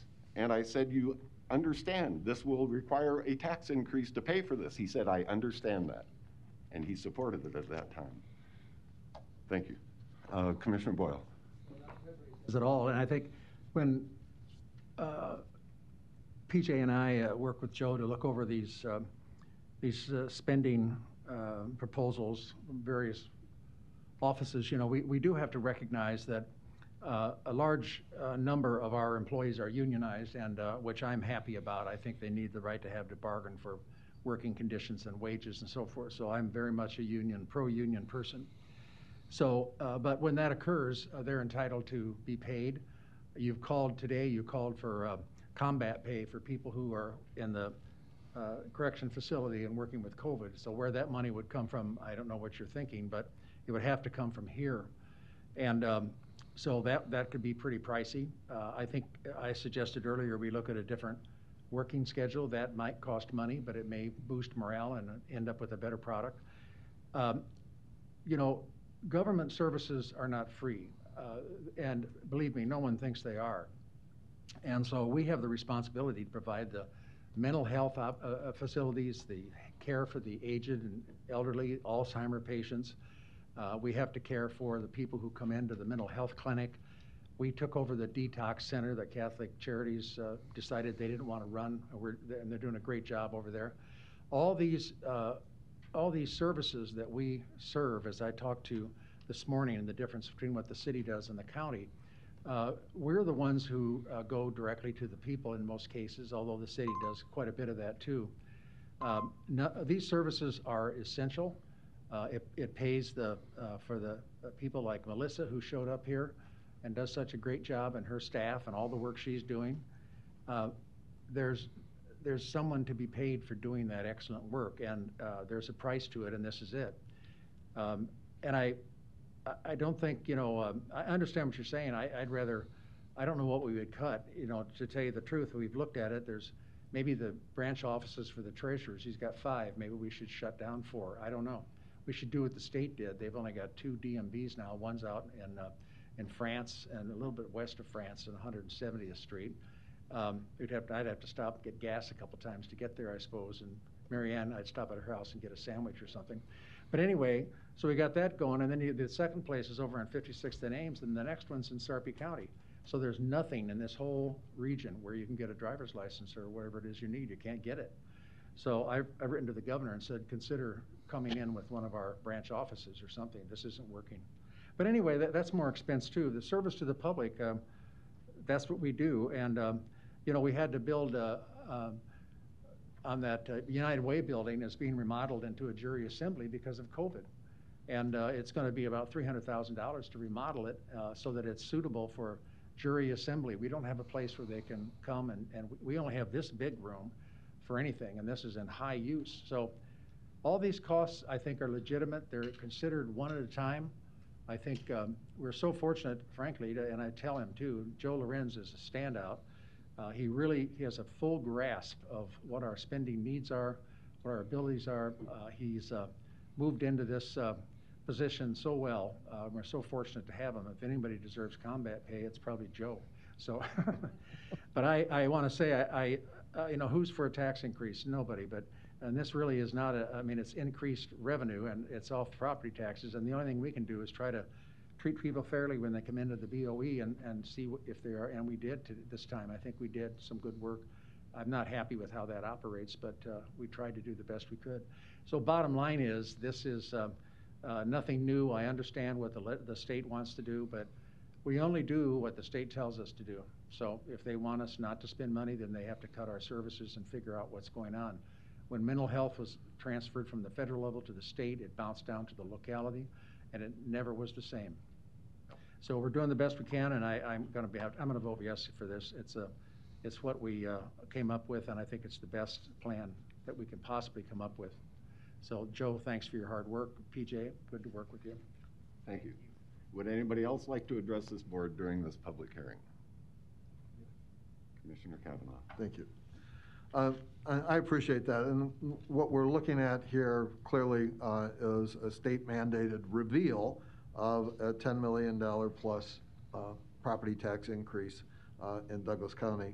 Um, The idea of hazardous duty pay for our first responders and our healthcare providers is COVID-related, CARES money, not property tax. COVID that we had 166 million for, that you just put 3.3 into the MUD building for. COVID-related CARES funds do not come out of a property uh, tax bill for Douglas County. So that's what I was advocating for our first responders yeah. and, Yeah. and healthcare providers, COVID-related CARES money. Uh, The property tax increase here is largely going to pay for the scheme across the street. And I have said from the beginning that if we had put the courthouse annex and even the MUD building on the ballot and let the people decide, I would have supported that. Didn't do that because you knew that the, what Commissioner Morgan calls kitty jail would not fly. The people don't support that idea. And that's what this tax increase is, is for. For the private corporation, which is now going to get 3.3 million more uh, to do their construction scheme across the street at the property taxpayers' uh, expense. That's what we're voting on here today, property tax increase for a wasteful product, wasteful project that we don't need, and I'm going to vote no. You, you said the 3.3 million is coming out of property taxes? No, the across street? 3.3 million is going on top of what. is- Okay, but it's not coming What's out of going on top of what is, is already given to them. All right, thank you. Commissioner Morgan. Commissioner Cavanaugh, you are absolutely an amazing person. For you to say to me, when I've asked you publicly here for weeks, weeks, and I hope the other commissioners will tell me that I'm wrong on this. I don't want you to tell me. I have asked you to have respect for the juvenile uh, center and not call it a kiddie jail because parents have called. You're the only one on this board who's ever used the word kitty jail. And I resent you trying to twist facts as you always do. And I've tried to stay quiet and allow you to continue your six to one voting record that you're so proud of. And I am really, really disgusted with you. And I want you to personally know that. And I've never said that to another elected official because I try to be respectful. But when you said that twice, I let the first time go that I called it a kitty jail. I would never do that. And I just want you to know that I think it's deplorable the way you twist facts. Okay, well, Thank you. because this is a personal attack, I I have to point out to you that you can go back in the record, and I urge you to do that, and look for me ever calling it a kitty jail. You called it a kitty jail. Okay. I have never, ever called it a K-I-D-D-Y jail, kitty jail. That is wrong. You are wrong, but you won't go back in the record. You will conflate what I have said, what a lot of people said about the kids' jail, with your kitty jail. I never said that. You said that this morning. Go and check the record and get your facts straight before you go attacking people. All right, I, I don't need to split hairs between a kiddie jail and a kid's jail. This is a public hearing about the county's budget request, and I would like the conversation to come back to the budget, please. Further comments about the budget? All right. Uh, we will then close the public hearing. Um, What is the, I make a motion to approve if there's no motion out there. there is not? All right, motion by Commissioner Boyle, second by Commissioner Morgan. Uh, Further questions or comments? Could we please vote? Thank you, Joe. Yep. Okay, thank you. Yeah.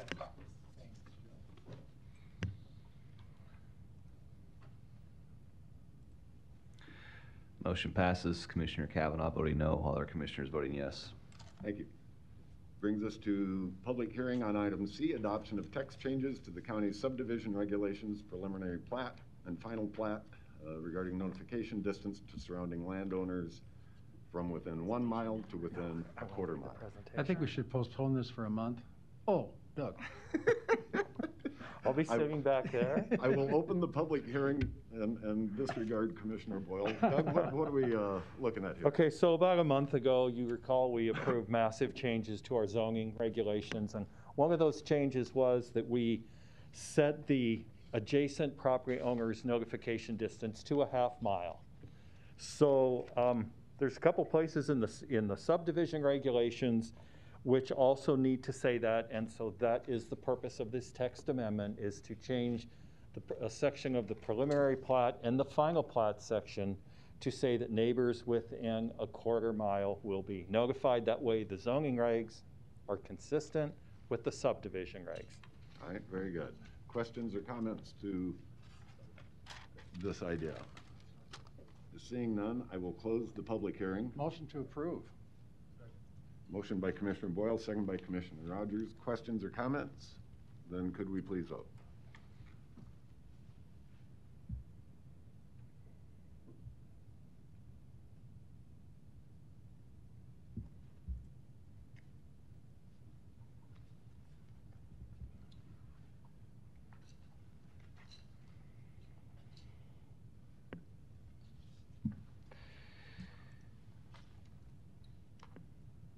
Uh, Commissioner Cavanaugh, how do you vote? Vote yes, okay, motion passes six to zero. Thank you. The final public hearing, item D, is adoption of the 2018 International Energy Conservation Code. Uh, Doug? So recently, the state updated uh, their version from the 2009 edition to the 2018. Uh, We follow the state in regards to this, so we would ask that you adopt the 2018 IECC as recommended by the Planning Commission. Very good. Any, Commissioner Boyle? Uh, Mr. Gardner, does this, does this add any uh, further uh, regulation over business or uh, people who want to uh, do work of any sort, like permits or different kinds of uh, equipment or uh, materials they have to use? I, I wouldn't say that it would. Uh, this kind, this code deals with like uh, windows, um, insulation, conservation type energy saving. Okay. Things. So to my knowledge, no, it does not. Okay, well, do me a favor and kind of keep an eyeball on it, and some of Okay. these things, uh, uh, after a year or so, you discover that it's switching some kind of material for, you know, the windows or whatever it is, and and it adds expense and things like that, and it causes hardship for consumers as well as uh, people who are installing them. So if you keep an eyeball on that, I'd appreciate it, and let us know. Roger But that. on- Only if it, only if it's detrimental, you don't have to come back and, but keep a eyeball, will you? Yes, sir. Thanks. Any other comments during the public hearing? If not, I will close the public hearing. Motion to approve. I will second that. Questions or comments to the motion? Then I would call for the vote.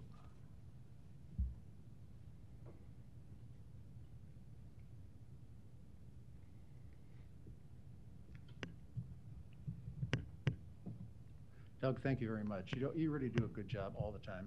You're Motion another- passes six to zero. You're another one of the standouts. I pre- appreciate Uh, that. Thanks a lot. Thank I'll see you. if I can get you past Thank the you, drive-in. Commissioners. Ju- Just a second, Doug, I think. clerk.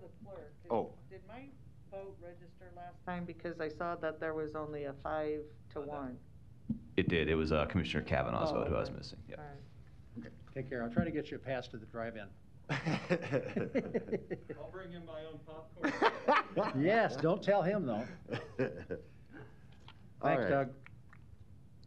This brings us down to uh, anything on the budget report? No, I think we've done the damn, I mean, done the work. All right, good. Uh, Item A2 under Finance Committee is approval of a resolution setting the preliminary tax rates for miscellaneous subdivisions as provided by Nebraska Statute 773443. Yeah. Sec, Motion and a second. Questions or comments? None, could we please vote?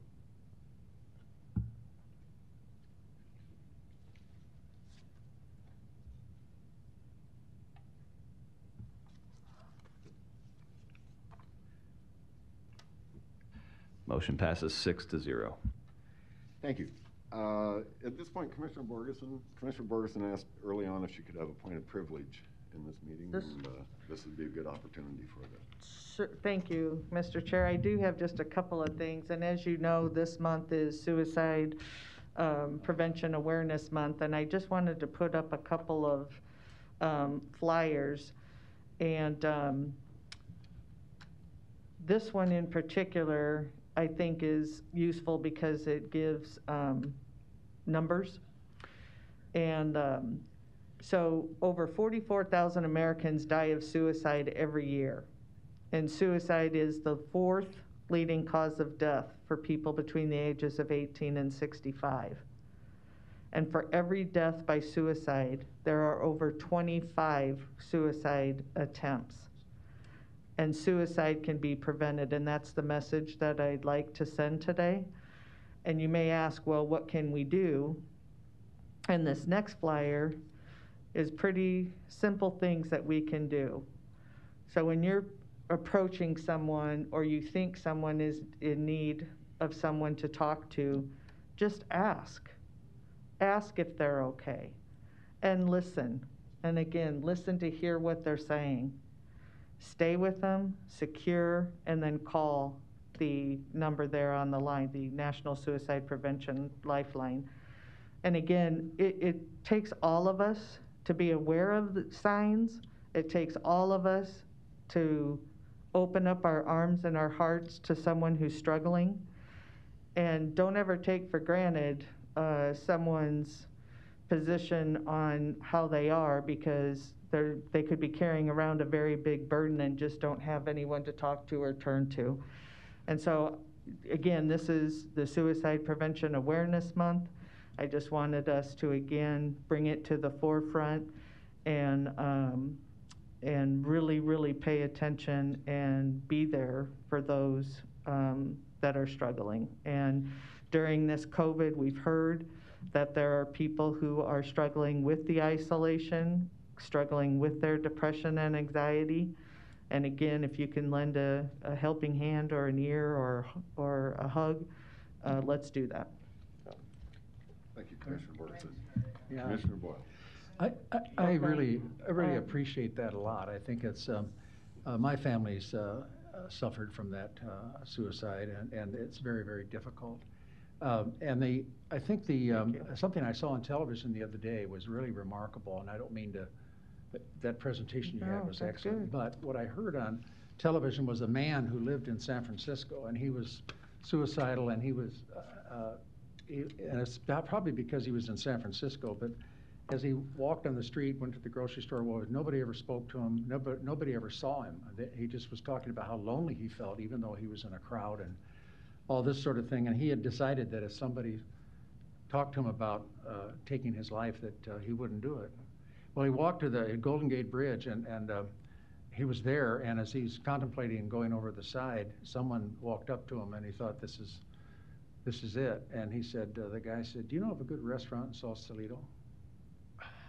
And uh, he said, no. And then uh, the guy walked away and the fellow jumped up and he did jump, he survived. Mm. But he jumped off the bridge to commit suicide. No one spoke to him. So you know what I've done? I, I, I this is, of course, I'm a, I drive my family a little bit crazy. I was at my son Mike's house and there were people walking by on the other side of the street and I'm going, hey, how are you? And waving at him and he goes, what are you doing? You know? And uh, so I said, I'm just being friendly to people. He said, well, you're being weird. I said, no. And not really. I said, what's amazing is uh, when you're walking like to the grocery store and there's people coming out and there's a, a woman who has, uh, who has, um, uh, she's a Muslim and she has the, hat, the, she's dressed fully, you know. And so what I do is uh, I, I go by them and always speak to them and I nod out of respect. I don't, I never try to touch them or anything, but just say good morning to them and you can see them smile and so forth. Good morning. And yesterday I was at UNMC and there's a, African black couple walking out and uh, I, I talk to everybody and just say, how are you doing? And you'd be surprised the smiles that come up and just good. It's just, what it says to somebody is, I see you, and right. you, you, you exist. And uh, anyway, so it turns out this guy, his wife was, uh, worked at corrections and she was a sergeant. And uh, they were getting in their truck and stuff and I was visiting with them and, and then he said something so kind about Anne. It was just really nice, how much he respected her and stuff, just out of the blue. And uh, so that's, it helped me, you know, I mean, I'm not thinking about that, but I mean, the point is that we all need to recognize people in grocery stores, speak to them, say hello. Uh, It just takes a minute, and it's really surprising. And uh, I, when I see a, a man or a woman with little kids, I say, "Oh, you got your helpers," and oh, yeah, oh yeah, you know. That's a, but just acknowledging somebody. So I appreciate you're doing this, and uh, it's really important. I think we ought to probably once in a while flash up a number on the screen for suicide help or something because it's really rampant. I talked to a friend uh, out of town, and they have not been out of their home since March, and uh, it's getting weird. So we need to help people. Thanks a lot, Mary Ann. That was Well, great. That's, that's exactly what we need to do, Commissioner Boyle, is just, um, take the time to say hello. Yeah. That's it. Sounds like- Smile. Sounds like we're all in this together. That's Yep. right. Uh, That is a great message, and thank Yep. you for bringing it to our attention. And the second real quick item, and she's left the chamber, and she's probably gonna kill me for announcing this, but I'm gonna do it anyway. Um, that our own Kim Hawekotte Oh, yeah. has been nominated by Congressman Bacon um, as the Nebraska recipient for the Angels in Adoption Award through the Congressional Coalition on Adoption Institute. And if there is anyone who is, Yeah. uh, boy, more deserving than this, I, I don't know, but Kim is the one. Um, she's been such an addition, great addition to our staff when it comes to um, our juvenile justice issues and the work um, that she's done since she's been here. And to be honored like this and recognized like this and continue the work on it um, is phenomenal. So we congratulate her for that. Good Can I, point. can I add, I think she said she won too. Yeah, yeah, Yeah. it was beyond nominating. She, she won the I'm award. sorry, I missed, yes, Yeah, yes, I yeah. read it wrong. Thank you for, uh, yeah, yeah, good, good people we have helping us. Yes, absolutely we do. Certainly verifies it. Thank you. Yes.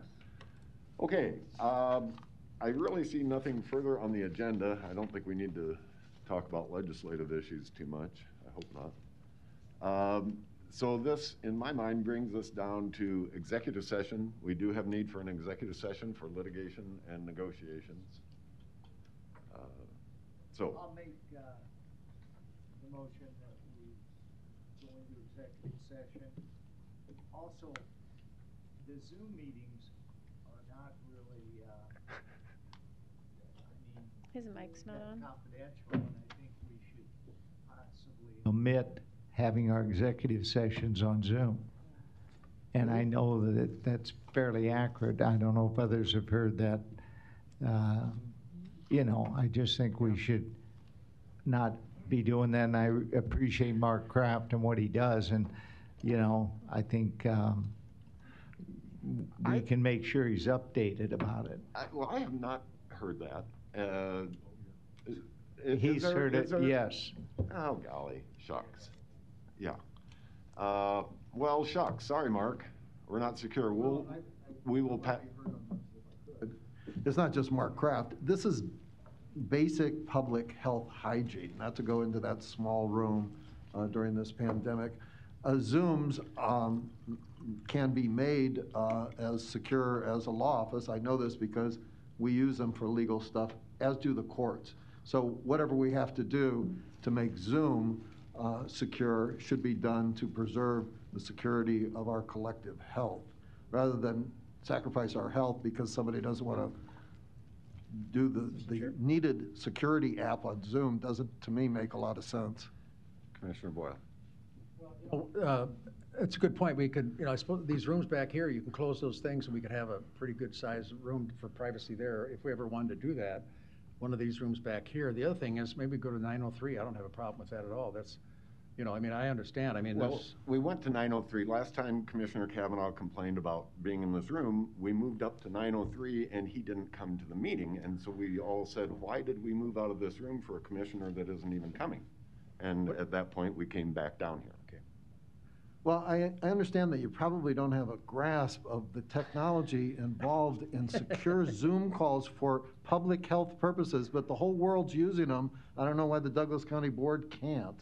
We will catch you up to speed later, Mark, uh, on what's going on here. So Thank go you. behind closed doors and, uh, I hope you stay well. Yeah. Thank you very much. Well, there's a Zoom Mark. app here that can be as secure as any Okay, office. we have a any motion courtroom. to adjourn You don't want to into use it. executive I understand that you want to have. We still your need a time second, talk. Commissioner Duda. Uh, I will second, or Commissioner Boyle seconds, let us vote on going into executive session for negotiations and, and litigation.